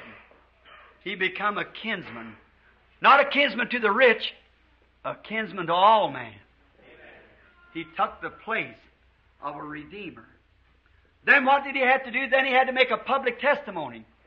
The next morning, Ruth said, or Naomi said, Rest, Ruth. Everything will be all right now because you found grace in His sight. God, let me do that. Let me find grace in His sight. Then when morning breaks, when the trumpet of the Lord shall sound and time shall be no more, and the morning breaks eternal, bright and fair, and when the saved on earth shall gather over on the other shore, when the roll is called up yonder, I'll be there. Resting now, waiting for the full redemption. Notice, I have it, the, the earnest of it now. I took home a whole scarf full of barley. I got there, he gave it to her, measured it out. Six measures. Six means the 6,000 years of the existence of the world. Man's day is six. Man was created on the sixth day. There'll be 6,000 years that the world was created in the 7,000 God rested. 6,000 years the church will labor against sin with the power of God of these barley loaves and then go into the eternal rest. Hallelujah. Rest, wait. Six measures of fine barley he put in there to carry her over till the time of full redemption. I'm so glad to enjoy it. Now, quickly, let's get down to the end of it. Now we find. Now, that the next morning, when she woke up, she was happy, waiting. And the man came. He went down, he had another kinsman that really had option on the woman first. Uh, Have I got time to get that? Uh, well, just a minute, and we'll get part of it anyhow. That next one in the parable that had option on you was the devil. Of course, you'd sinned. And first you belonged to him because you was your, his property. For you were born in sin, shaped in iniquity, come to the world speaking lies. And he could not redeem it. He could not redeem it. So Christ come and was made man to take away our sins to redeem us. Do you see it? And the other man couldn't do it. The devil couldn't die for sins because he was a very perverter made sin. See, he could not. He'd mar his inheritance, the other fellow. And Satan would mar his because he is a devil. He could not become another devil to take away the devil fir- first devil. He could not become sin because he already was sin. But Christ being sinless become a sinner. He could redeem us. Hallelujah. We are redeemed. We are redeemed. It means to be brought back. We are redeemed. So, the next morning, then he had to make a public testimony. He went down and met this man at the gate before the elders. And it had to be in a public place. And he looked him in the face and he said, Can you redeem her? Now, if he had to first redeem Naomi in order to get Ruth, and Christ had to redeem the Jewish church first in order to get the Gentile bride, Amen. she come in with Naomi as an alien from another country, a Moabite, heathens. That's what we were, the Gentiles, the heathen. And remember, he had to, he had to get Naomi, and when he got Naomi, he got all she had. Amen. Remember when Christ come, he never spoke of the Gentile church. It was go to his own. He came to his own, his own received him not. He is always to his own. Go not in the way of the Gentiles. Go not into Samaria, but go rather to the lost sheep of Israel. And as you go, preach the gospel, heal the sick, raise the dead, cast out devils, freely as you receive, freely give. Is that right? Send them two by two. Go first. And he had to redeem that church. And when he redeemed that church, he got the Gentile bride. Amen. Amen. That was a bargain, it? Hallelujah. He got the bride when he redeemed the church. Amen. Now, Boaz, he had to make a public, he said, Can you redeem her? He said, No. Then he had to make a public testimony. He picked off his shoe and threw it at him. Said, There you are! Let all Israel know that I have redeemed Naomi. Oh, glory. And I also take Ruth. I take Ruth for my bride. Amen. Who was it? The Lord of the harvest. Amen. There she is. I redeem Naomi and I get Ruth, and Ruth will be my bride. What they say? May her be like like uh, Leah and Rachel and them raise up thousands, and she has. That's right. Until Israel May she be that way. And look, he made a test, public testimony. What did Jesus do to do it? He made a public testimony when Satan could not die for sins because he was the sinner. He's the father of sin. But Jesus, the innocent one, God of heaven who didn't have to die, come down and made a public testimony by dying, lifted up between heavens and earth. A public testimony, stripped his clothes off of him and hung between heavens and earth in shame and died a sinful, shameful death to redeem us. A public testimony. Amen. What did he do? Kicked off his own righteousness. Kicked off his own glory. Kicked off, I have power, I'd speak to my Father, straightway he'd send me 20 legions of angels. They could change the course. One angel could have done it. He could have called for 20 legions. That'd have been about 40,000 angels. What could they have done? He said, I could speak to my Father straightway, that's right now. He'd send me 20 eh, legions of angels. Well, come here and take this over. What would one do? one would destroy the earth in a second. But look, he had thousands could have come. See, but he kicked that off. He laid that aside. He laid all of his dignity, everything aside, and become a sinner. And died for you and I. Now in closing, we might say this. In closing, he did he did that. Then he took Ruth. And he married her. And she brought forth a son called Obed. Obed was the father of Jesse. Jesse was the father of David, who was the father of Christ. Amen. Father of the Lord Jesus. Don't you see? Through that righteousness, through that clear cut decision, he become our kinsman redeemer. God became kinfolks to us to come down and be made like us, a human being. Suffer hunger, suffer thirst. I thirst, give me drink. They put vinegar in his mouth. Gall. He thirsted like we did. He knowed how to do without. He was sick like we are. He said, Won't they say to me the old parable, Physician, heal yourself? But his great powers wasn't for himself. He had the power to do it, but he couldn't use it on himself. No, somebody said to me the other day, said, Brother Branham, before anything happens, you know all about what's going to happen to you. I said, the gift is not for me. I cannot use it for myself. It's for you. You're the one that gets the benefit, not me. I'm just a public servant of God to you. The preacher is a public servant. He just holds himself there like a lily in the field. The bumblebee flies in, and get his part. The honeybee flies and gets his. The bypasser gets his, and uh, everything. He toils day and night to keep his radiance. And the gospel minister does the same thing. Walks in the line of God, holds his testimony true, that the world might partake of him. Mr. Pastor Lilly, he's a good one. Jesus said, "Consider him." Solomon is not like him. That's right. Dr. Lilly, I guess you all know him. See, consider the lilies of the field, how they toil and spend neither. I say yet Solomon all of his glory. A lily has to struggle day and night to get the radiance, to keep his garments, to keep the perfume and things going. And others, he just opens up himself and they come by and take it out of him.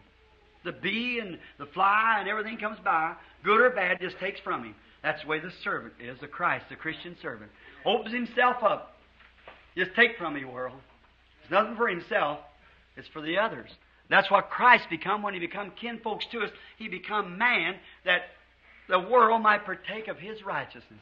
See? Oh, and be made sons of God. Now, what did they do? They got married.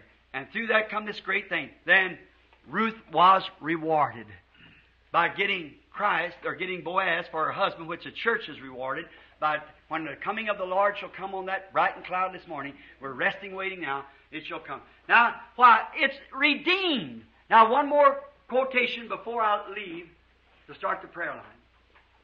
One more quotation. I looked up this morning the word redeemed. I just, excuse me, my Arminian brother, but I just have to put this in.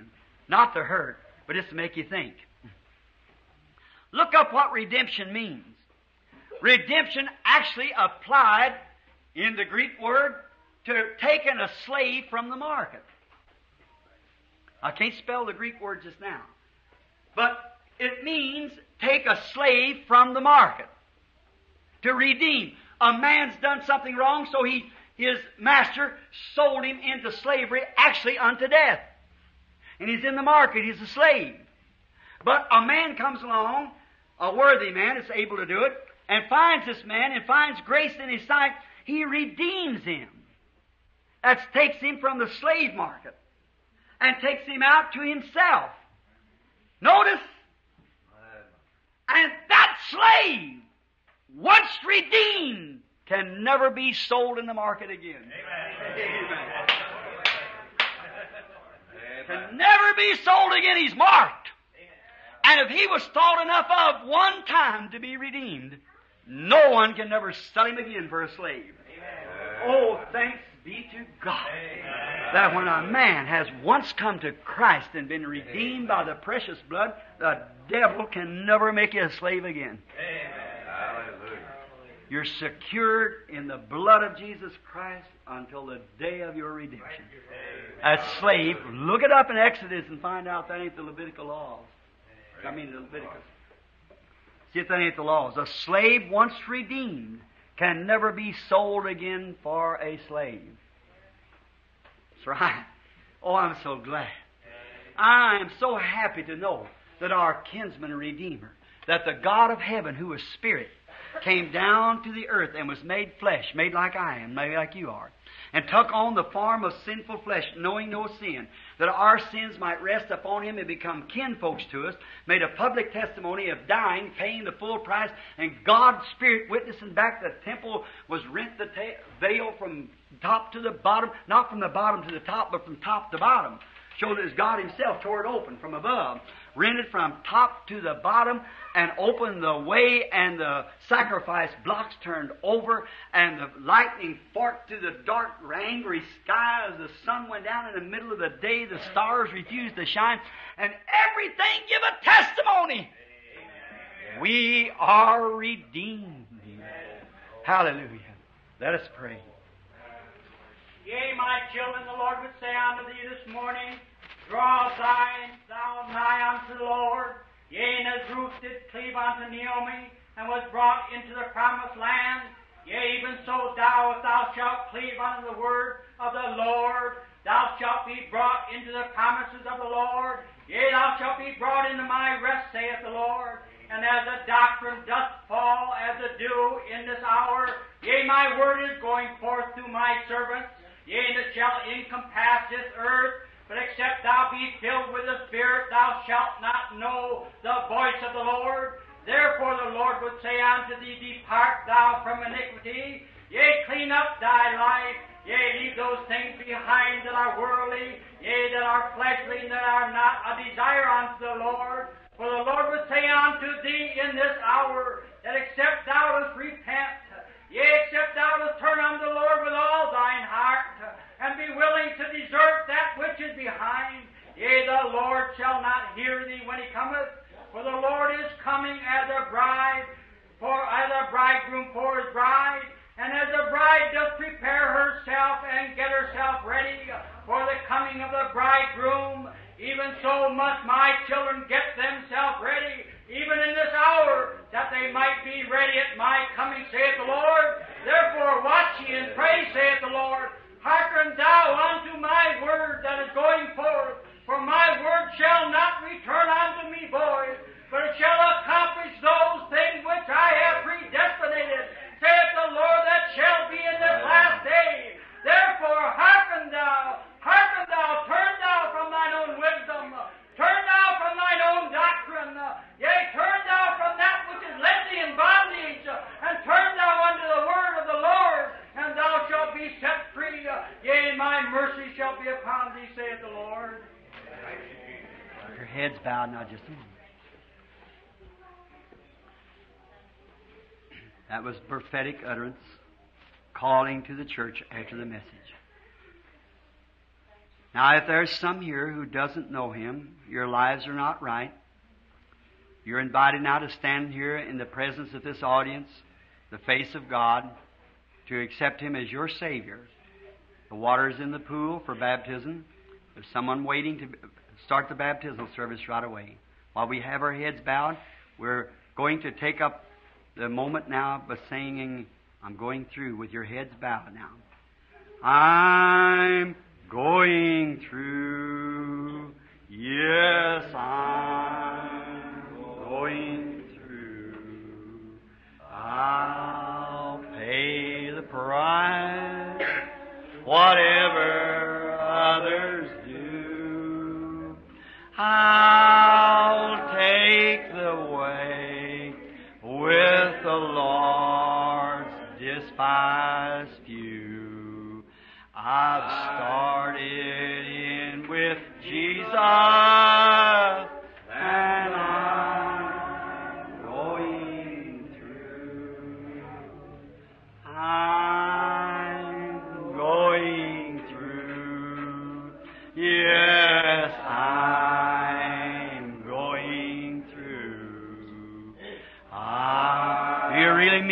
now? If you do, come up here and stand. Whatever others do, I'll take the way. Are you ready to cleave? With the Lord. Like Naomi of old. I've started with Jesus.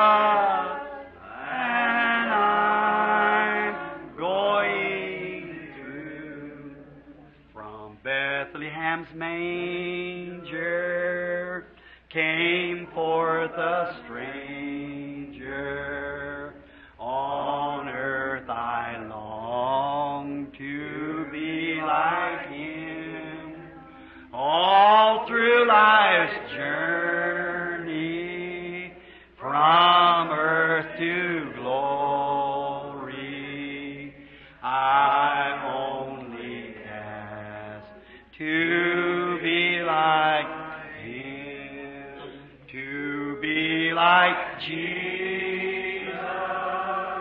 want to be like your Redeemer?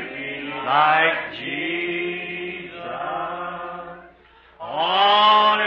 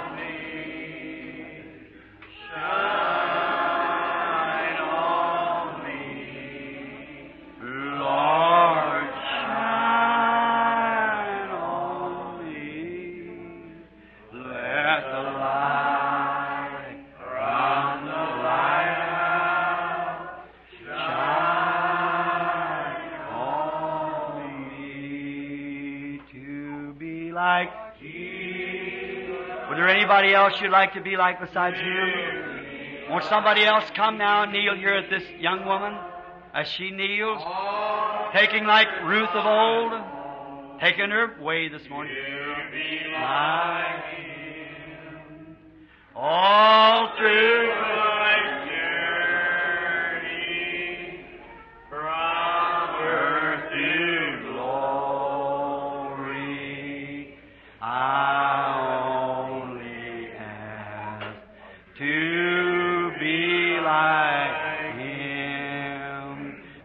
to be like Jesus. Somebody else come up now, walk down here, kneel down like this lady has you. Have you started? Will you put your hands in His?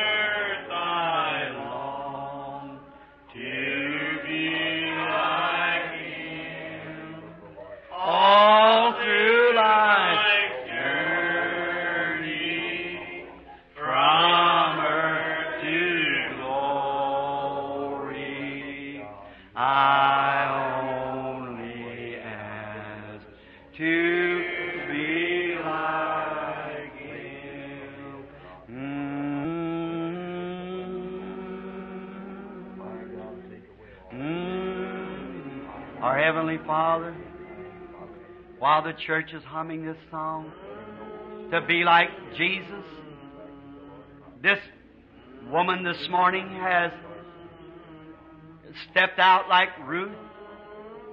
Annabelle coming like Ruth of old. No matter what the price is, she's come to pay it. No matter what the, how she's to be laughed at or made fun of, she's taken the place now, standing here, confessing her sins, kneeling down, marking the place where the great Lord of the harvest laid down at the cross, there to receive His Spirit, His grace that spoke to her, as the Word went forth like Naomi of old, directing and it struck the right one, the right place, and now she comes to take the place of a believer, kneeling at the cross, there where she confesses her sins, lays aside all the old things of life, and becomes a new creature in Christ Jesus. We pray, Father, this morning that every alienated person in this building, every man, woman, boy, or girl who doesn't know you, don't let these words pass by, Lord. We don't know just what hour we are to come into the judgment. It may be yet today that many of us may have to come. Maybe before we get home an accident will happen. May a heart attack might strike us. We don't know. Oh God, let us prepare this hour while the Spirit is here, while we have witness that He's here, while the God of heaven in all of His infinite mercy is here to take us in. Give us of Thy grace, Lord. Send others this morning to the altar and accept Christ as Savior as this woman is doing now. Grant it, Lord. Be merciful to her, knowing that her people, her brothers sitting here on the platform with me, her sister Wood sitting back out there, and mother and daddy sitting here, Lord God, I pray for mercy. Grant it, Lord. You know what I mean in my heart. I ask that your shedding forth of your blood and mercy will come now at this hour. Grant it, Lord. Grant while we are waiting for others, may others come too, Father, and be reconciled to God through Christ. And while we're waiting now and wondering, we're going to sing again. Shine on me, O Lord, shine on me. Let that light from the lighthouse shine on me. All right? Shine on me. Would there be another come up? Lord, shine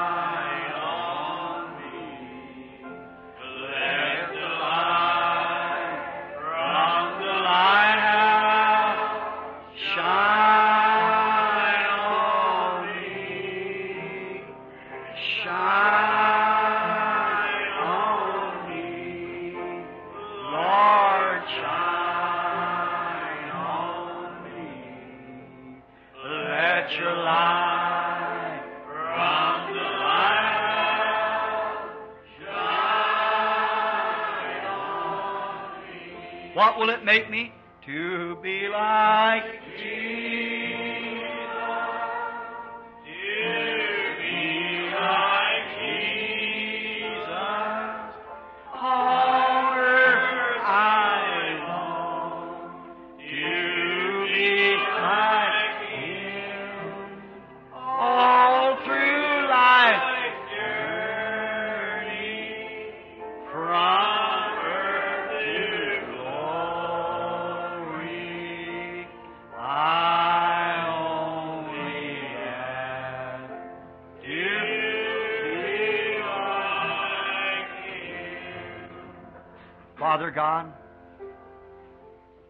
Our testimony, Lord. We want to be like Him. Meek and lowly, humble, sweet, always forgiving. Those who are mistreating Him and doing wrong, we, we want to be that way. We thank you for this woman who came up this morning. How do we know what this life will come to be after a while? Maybe through all of her mistakes and things in life as we all have made. Seeing them plunged beneath the flood this morning. Amen. I pray, God, that this woman will live a consecrated life that will lead all her associates to this experience. May she not stop here, but go on into the promised land, marking the place and lying down, receiving the Holy Spirit there. Grant it, Lord. If there be any more in here, Father, that should have come and did not, May your spirit not leave them. May they have no rest, day or night, until they have come also, made the same decision. Not to be harsh, Lord, but, oh God, knowing what they're missing, to know what will be at that day, to hear Him say, Depart from me, you workers of iniquity. That morning at 8th and Penn Street, I called you, and you didn't come. Oh God, what a horrible hour that would be for him. When we're weighed in the balance and found wanting. Father, grant that that'll never come to anyone in divine presence. May they all be saved. We ask in Jesus' name, Amen. Amen. We want to thank the Lord this morning for His goodness and kindness. I thank you all for your patience of waiting with me so long. Sister Annabelle, uh, Sister Woods, that's your sister, Brother Charlie. What they've been praying for and what we have prayed for for a long time. Sister Annabelle, would you stand up just a moment? That's Sister Woods, our trustee here at the church. That's his sister-in-law that's accepted Jesus as her personal Savior this Amen. morning. And how many prayers have been? God bless you, Sister Annabelle. I think I have your name right. Is that right? May God ever bless you, Sister dear. And if you've never been baptized in the name of Jesus Christ, I persuade you to do it and receive the Holy Ghost. God ever be with you and bless your precious husband there. And meet him a few days ago, if I'm not mistaken, his name's Stanley. Is that right, Stanley? God bless you, Stanley. Home is sweet, but I believe it'll be sweeter now than ever. God ever be with you all and, and give you His grace and mercy all the days of your life. And follow on with the Lord. Be like Ruth now, Annabelle. Cleave right on to it and just keep moving on. Sometimes it'll get hard and the ways will get dim. But remember, just look down towards the ground and then look up towards the sky. You'll find a bloody footprint that follows all the way up there. He'll lead the way. Now, it's already noon, 12 o'clock. Are you still willing to have the prayer line? Billy, where, what kind, did he give out prayer cards? I, I never, I believe he told me he give out prayer. Well, what was it? Uh, somebody tell me what the letter numbers was. B? Uh, B, 1 to 100? 50 to 100. All right? B number 1. We got, now we have a crowd, so we can't, we'll get them all standing, and we'll just pass them right through line praying for them. Now, how many's never seen one of the prayer lines? Let's see your hands. Never been in one of my meetings to a prayer line. Oh, my, plenty of you. Well, now, we can just pray for the people, or we can have discernment, or don't have any prayer line at all. Just call them right out in the audience. It doesn't matter. The Holy Spirit's here. Yes, sir. But let's be standing the prayer line. Number one, who has number one? Prayer card B 50. I'm sorry. No one has one, of course. All right, prayer card 50. Who has it? Come over here, sir. Prayer card two, uh, uh, 51. 52. Prayer card 52. All right, 53. 53. All right, 54. Come this way. Right over here. If you're in the back, come over this way over here. 51, 52, uh, 53, 54. Who has 55? Prayer card 55. The lady, right over here. Prayer card 56. Stand up on the side of the wall, over there, if you will. 57, 58, 59, 60, 61, 62, 63, 64, 65. Busty, turn right through that aisle right there, brother. Right there. All right? Turn right through. How many does not have a prayer card and you want Lord to heal you? Raise up your hands. That's all you have to do. Just believe that now. Just believe. All right? 56. Did I have it? 57, 58, 59, 60. Let them stand. 61, 2, 3, 4, 5. Let them stand. 66, 67, 68, 69, 70. Let them stand. I don't want them all rushing at one time, reason I'm calling them a number. Up to 70. 70 to 80 stand. Come over here on this side. 70 to 80. All right. 1, 2, 3, 4, 5, 6, 7, 8, 9. All right. 80 to 90. Stand over here. Doc, you help them back there if you will. 80 to 90. Stand over on this side. 90 to 100. Stand over on this side, over here. All right. While they're lining up, I'd like to ask the church something.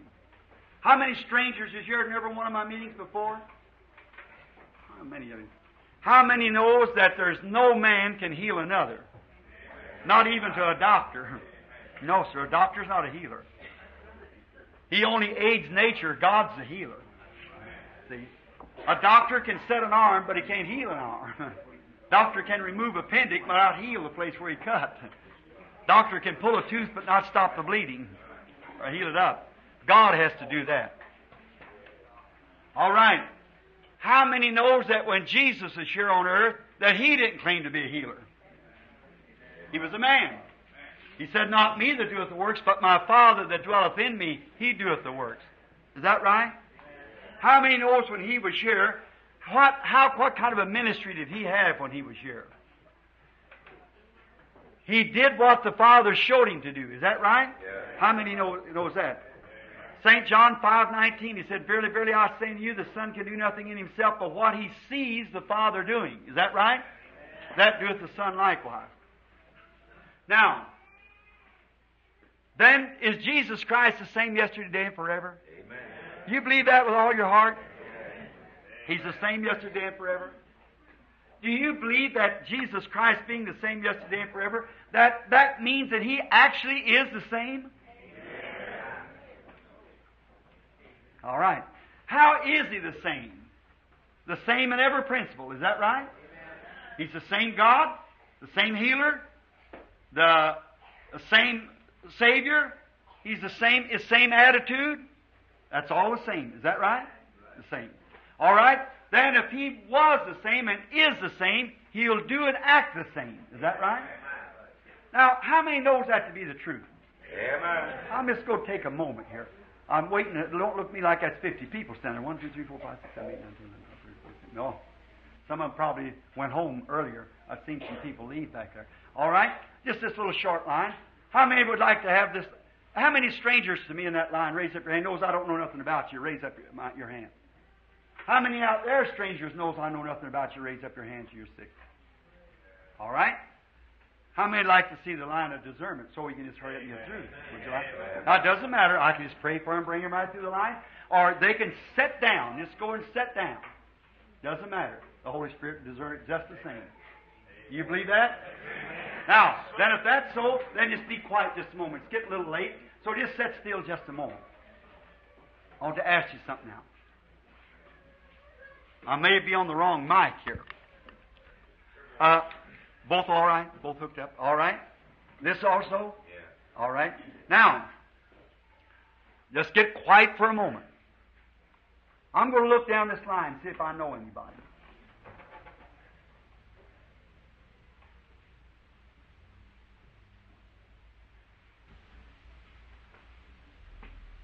I know that fellow standing right there, and I, I know Earl. Earl, I know you. Earl Colvin. I'm not in the prayer line, no brother. Bill, I brought Oh, yes, the man up here. Is that the man we hunted with up there in Colorado? You probably won't recognize him. He's lost. Oh, my, I certainly don't. I believe Earl told me that you were very sick.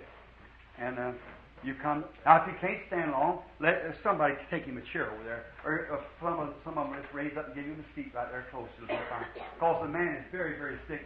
My, he's lost about a 100 pounds or more of weight. And, he, and uh, he's, he's very, very sick. Now, just let him sit there. Well, thank you, sir, brother. Now, let me look down. Now, Earl was just standing with him.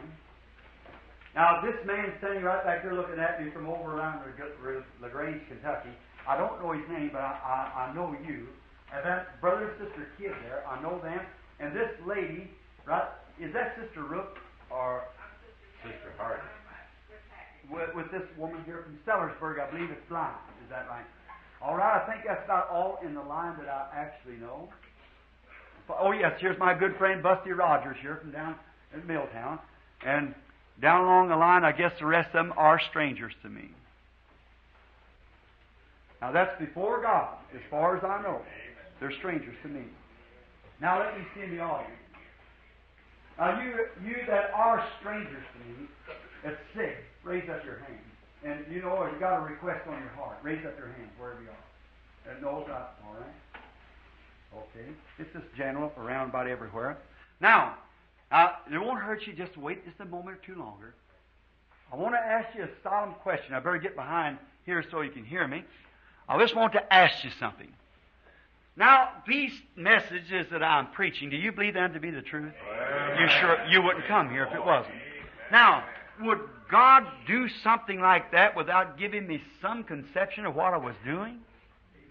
Amen. He certainly would not. Certainly he wouldn't. Now, if he has done that, now I'm claiming that Jesus Christ has not changed. His death did not change him, it glorified him. And he raised up on the third day and ascended on high, and he sent back the Holy Spirit, which was God is the Holy Spirit that was upon him. Do you all believe that? And Jesus, when he is here on earth, he said, The works that I do shall you do also. A little while, and the world won't see me no more. That's a world order, you know, just the unbelieving church and all, they won't see me no more. Yet ye shall see me. Ye, that's the church, the believer. For I, I is a personal pronoun, I will be with you, even in you, to the end of the world. In the Greek, there's consummation, which means the end of the world. Be with you to the end of the world. And the works that I do shall you do also. Is that the truth? Now we have Baptists, Methodists, Protestants, Catholics, and, and even Jewish sitting in here this morning. And we have Church of God, Nazarene, Pilgrim Holiness, Jehovah Witness. All them different denominations represented. I'm looking around, looking at Methodists, Lutheran, Pentecostals, all different kinds. As I look around and see the people that I know. And they're all visitors from out of town. The Branham Tabernacle is a little bitty thing here in, in the city. But it makes up from the world. Now, let's just take this and think real close. Think study. Be reverent. And ask this question. Then, if he is not dead, then his attitude towards you and towards the sick would be just the same today as it was yesterday. Amen. Then, how did he make his attitude yesterday? This I can if ye believe. Is that right? If you believe. The man said, Lord, have mercy on us, that my son is variously fixed with the devil. I brought him to your disciples, and they were screaming and hollering and everything. He said, I can if you believe. If you believe, I can. Now notice, how did Jesus do? What was he yesterday? How did he minister? Now this is to the stranger now I'm talking to. Let's see what he was yesterday. It'll take me about three minutes. We'll quote a couple little places. When his ministry first started, there was uh, one man by the name of Andrew, a fisherman, got converted, believed on him, and went and got his brother named Simon. Do you remember that? He brought him to Jesus. He was an illiterate fisherman, couldn't even sign his own name. And he come up before Jesus, and Jesus looked at him and said, Your name is Simon. You are the son of Jonas. How many knows that's a scripture? They knew that was the Messiah. Because he's God promised, Moses promised, that when the Messiah come, he would be a prophet. Is that right? The prophet Messiah. And he looked and he said, Your name is Simon. And said, Your father was named Jonas. And he knew that was the Messiah. The woman at the well. That's a, another nation of people. Now, only the Jews and Samaritans received him. The Gentiles, we hadn't come in yet, the Ruth group. Now, the woman at the well, which was a Samaritan, she come to get water. Jesus said, bring me a drink. What did you do? Talk to her. Just like I'd talk to someone out there in the audience. Said, bring me a drink. They'd never met before. And she said, well, it's not customary. We got segregation here, like they used to have in the South for our colored friends. And they, but they don't have it anymore. Thanks be to God for that. So he said, we got segregation here. Well, it's not customary for you. You're a Jew. Jesus was a Jew. She was a Samaritan. He Said, it's not customary for for you to ask me a Samaritan woman. He said, But woman, if you knew who you were talking to, you'd ask me for a drink. That stopped that beautiful woman, and she looked up and said, Why, you have nothing to draw with. The well's deep. He said, The waters I give is everlasting life. And finally, he found out what her trouble was. How many old strangers knows what her trouble was? She had five husbands. So what did he say to her? He said, Go get your husband and come here. She looked at him, she said, I don't have any husband. He said, You said well, because you've had five, and the one you're living with now is not your husband. She said, Sir, I perceive that you're a prophet. Now we know when the Messiah comes, that's Jesus, when the Messiah cometh, He'll tell us these things, because we know He'll be that prophet. We know when Messiah cometh, He'll do this, but who art thou? He said, I'm He. And upon that she run into the city and said, Come see a man who told me what I done. Isn't this the very Messiah? If that was the sign of Messiah yesterday, and he's the same today, it's the same thing today. Amen. Now, do you strangers believe that? Amen. Now, that's for you in the line. Here. Now, to them out yonder, just one scripture. So that you'll have something to stand on. How many believes that he is a high priest now that can be touched by the feeling of our infirmity? Amen. We all Our Heavenly Father, who knows me, knows as far as I know, I never seen the man. Now, he might have seen me, and I might have seen him, but if it has, I don't know anything about it. Because I've been over the world times praying for the sick and things, and I, I might uh, met him somewhere, seen him or something, I don't know. But anyhow, I, I know nothing about him. That's true. Is that right, sir? Just so the people know. Now, the man standing here for some cause. Now, where is that fellow that's a hunter? Uh, I-? Or, uh, all right. I just want him to see. Where is that? Where's Busty Rogers? That just, all right. hear him. Uh, Busty, you know me. Mr. Epperson, you know. Is that right, Epperson? You know me. We hunted together up in Colorado. I'm, I'm a man. Suffering from a nervous condition. That's his trouble. Because you have a prostrate. That's right, getting up at night and so forth. You're from Ohio. And you belong to Brother Sullivan's church or go there. I see Brother Sullivan standing there. You come with kids. That's who you did. That's right. All right? At this time, you feel different now. It's left you. Now you can go home. Your faith makes you well. Now, God bless you.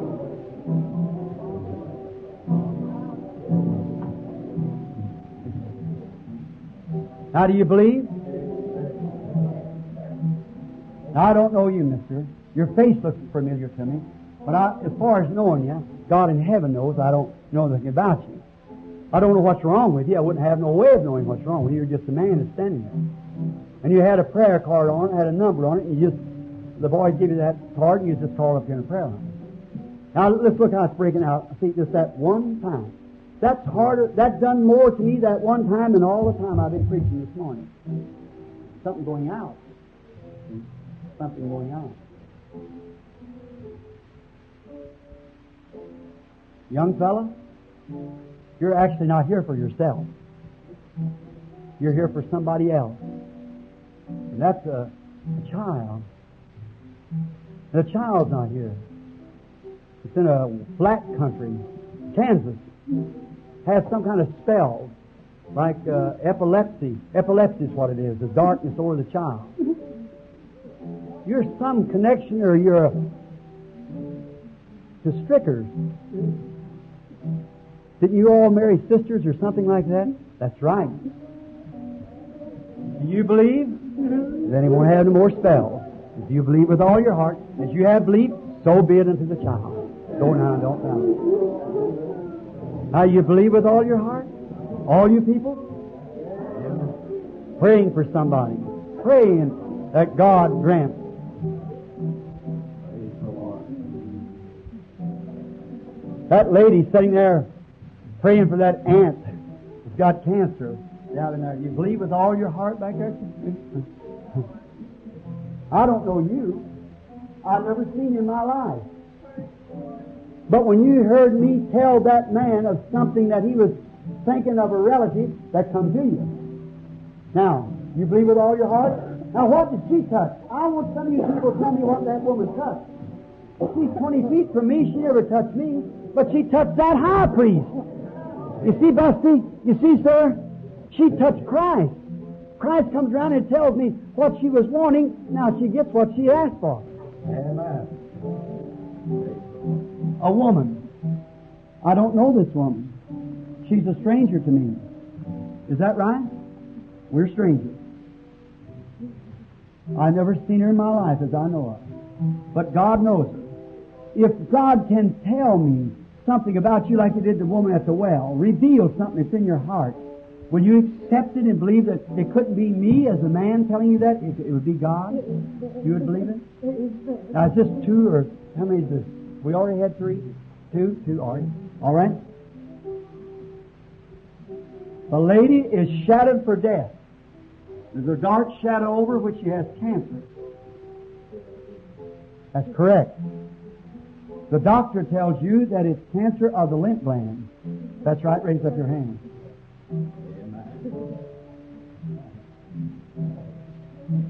You're from away from here. I would. You believe? You got a, either a son or it's a grandson. And uh, it's got something wrong with his eye. You're praying for him. Do you believe God can tell me who you are? I do. Miss McKee? Then return back to your home and be well. Do you believe with all your heart now? Uh-huh. I never seen a woman in my life. Hallelujah. What does that? Amen. Just a moment. Reverence, just a moment. I'm looking right at a colored woman sitting way back here in the back. And that light that you see on that picture is hanging over that woman sitting way back there. Believe me to be his prophet, sister. You're praying for your husband. At the stage of death in the Veterans Hospital. That thus saith the Lord. Believe with all your heart now. You'll get well. What did she touch? Amen. There's a woman, a colored woman, a white man, like the woman at the well. What did she touch? The same Jesus. She's not the same woman the colored woman was, or the uh, Samaritan woman was. She's another woman. I'm not Jesus, the same man. I'm another man. But she's a believer on Jesus Christ like the woman was, and I'm a believer in His servant. And the same Spirit working in this day. Christ is not dead, He's alive. I never seen her or know her in my life. Now, I see you don't have to have a prayer card to be here. You just have faith in God. Isn't that right?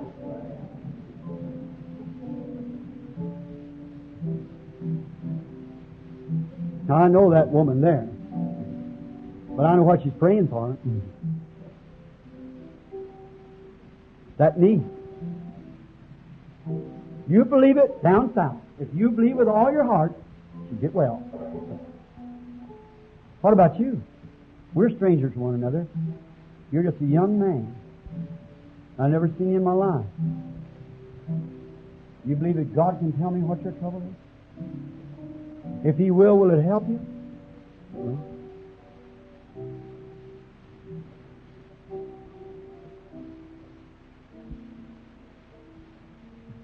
I, you keep leaving out there, see.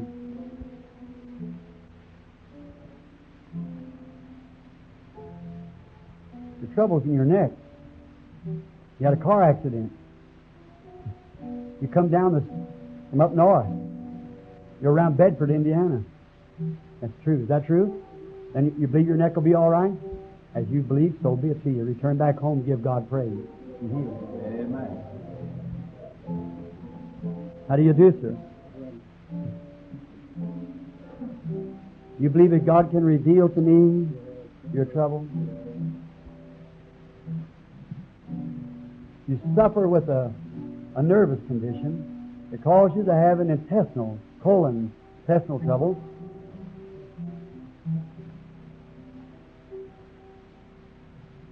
You're really from California. That's right. You believe God knows who you are? Mr. Murray? Okay. It's over now. Return to your home. Believe Him with all your heart. Are we strangers to one another? I don't know you and God. I don't know you and you don't know me. We're strangers. Is that right? If God will reveal to me something about you, will you believe me to be His prophet? Well, the rest of you believe. Uh, it's getting me real, real weak now, see. Just believe now. I'm just, anointing is here. You know that, don't you? You're, you're aware that it's, it's here. See? The Holy Spirit's here now. If you can, I'm getting so weak I can't ever see you out there no more. See, you know, if one case made Jesus get weak, what will of separating in case of shirt we've had here through the audience. Five or six or seven out here on the platform, three or four or five out in there. They just got me to a place I can't hardly see no more. Look like a whole crowd just getting milky like. If you'd only realize that's denseness of the Holy Spirit moving in. That's that light there covering over the building. See, it's, bringing you into a cluster, into a place. Now, bend this woman stand here. To you in the prayer line now. If God will reveal, here I'll hold my hands up. I've never seen the woman. Know nothing about her. If God will reveal exactly what she's done or what she is or, something other about her, will all of you believe then that, that God does that? Will you believe it? Can you, can you accept? Will you believe that you'll live that? Can you? Of course, I know your trouble. I know your trouble. Yours is not his. You see, God reveals those things. But if you just believe, I'll come to and lay hands on you because I'm getting a real, real weak, and I know in a little bit, well, I, I couldn't see no more. See, now you believe with all your heart. Now remember, it is not me. Anyone knows that. It's the Holy Spirit. Now, if I can just catch the woman's spirit, that's the same thing Jesus did. Trying to catch her spirit. He said, Bring me a drink. Here's a man and a woman, just like it was there. Now, you're a young woman, a lot younger than I. Now, perhaps maybe this woman is younger than Jesus. He's about 33 years old. And probably she wasn't 18 or 20, just a young woman. And she, she, she couldn't hardly know what to say, but when he to her, he said, Bring me a drink. Now the father had sent him up to Samaria. He was on his road to Jericho, but he went around Samaria. That's before the mountain. Why did he do that? He said he had need to go by. Father sent him there. Well, he just come to sit down and sent the disciples in town to get something to eat. And this beautiful young woman come out to get water, and the father must have said, I'm calling to her. He said, Woman, bring me a drink. And the conversation started. Now, same thing here. Did you put your hand on my shoulder? Of you?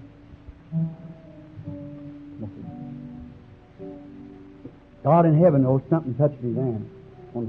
I thought it was Billy telling me to leave. I, I, my hands, God knows that's true.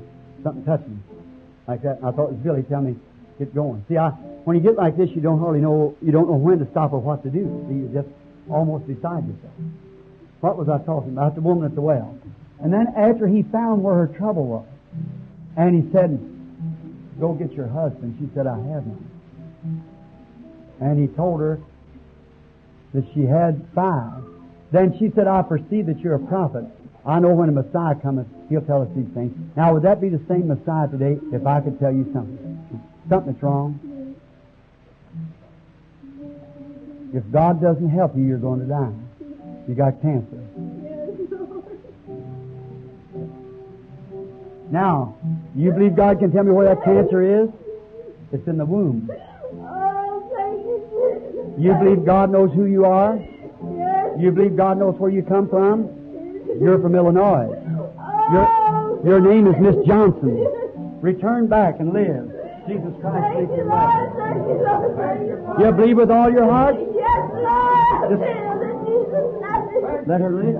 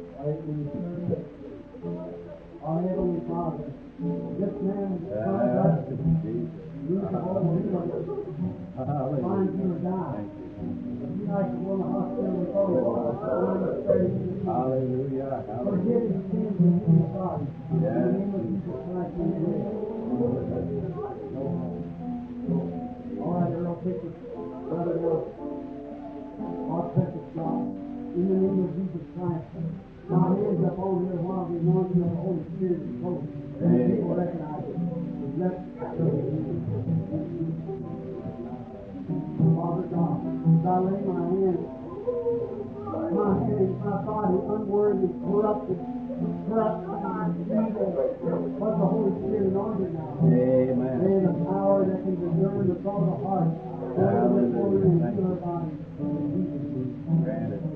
Dear God, knowing my brother, his condition, knowing that this is Oh God, of this young man fighting a good fight of faith, standing in the presence of Jehovah Jireh, the Lord provided sacrifice. May the power that raised up Jesus from the grave touch Oh, this grant it, Father. Give him the desire of. Good Lord. In the name of Jesus Christ.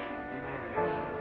Lord Jesus, upon my sister, Oh, amen. In the name of Jesus Christ, may your mind be made well. May her, her be gone from her body. In the name of Jesus Christ. Amen. Heavenly Father, to my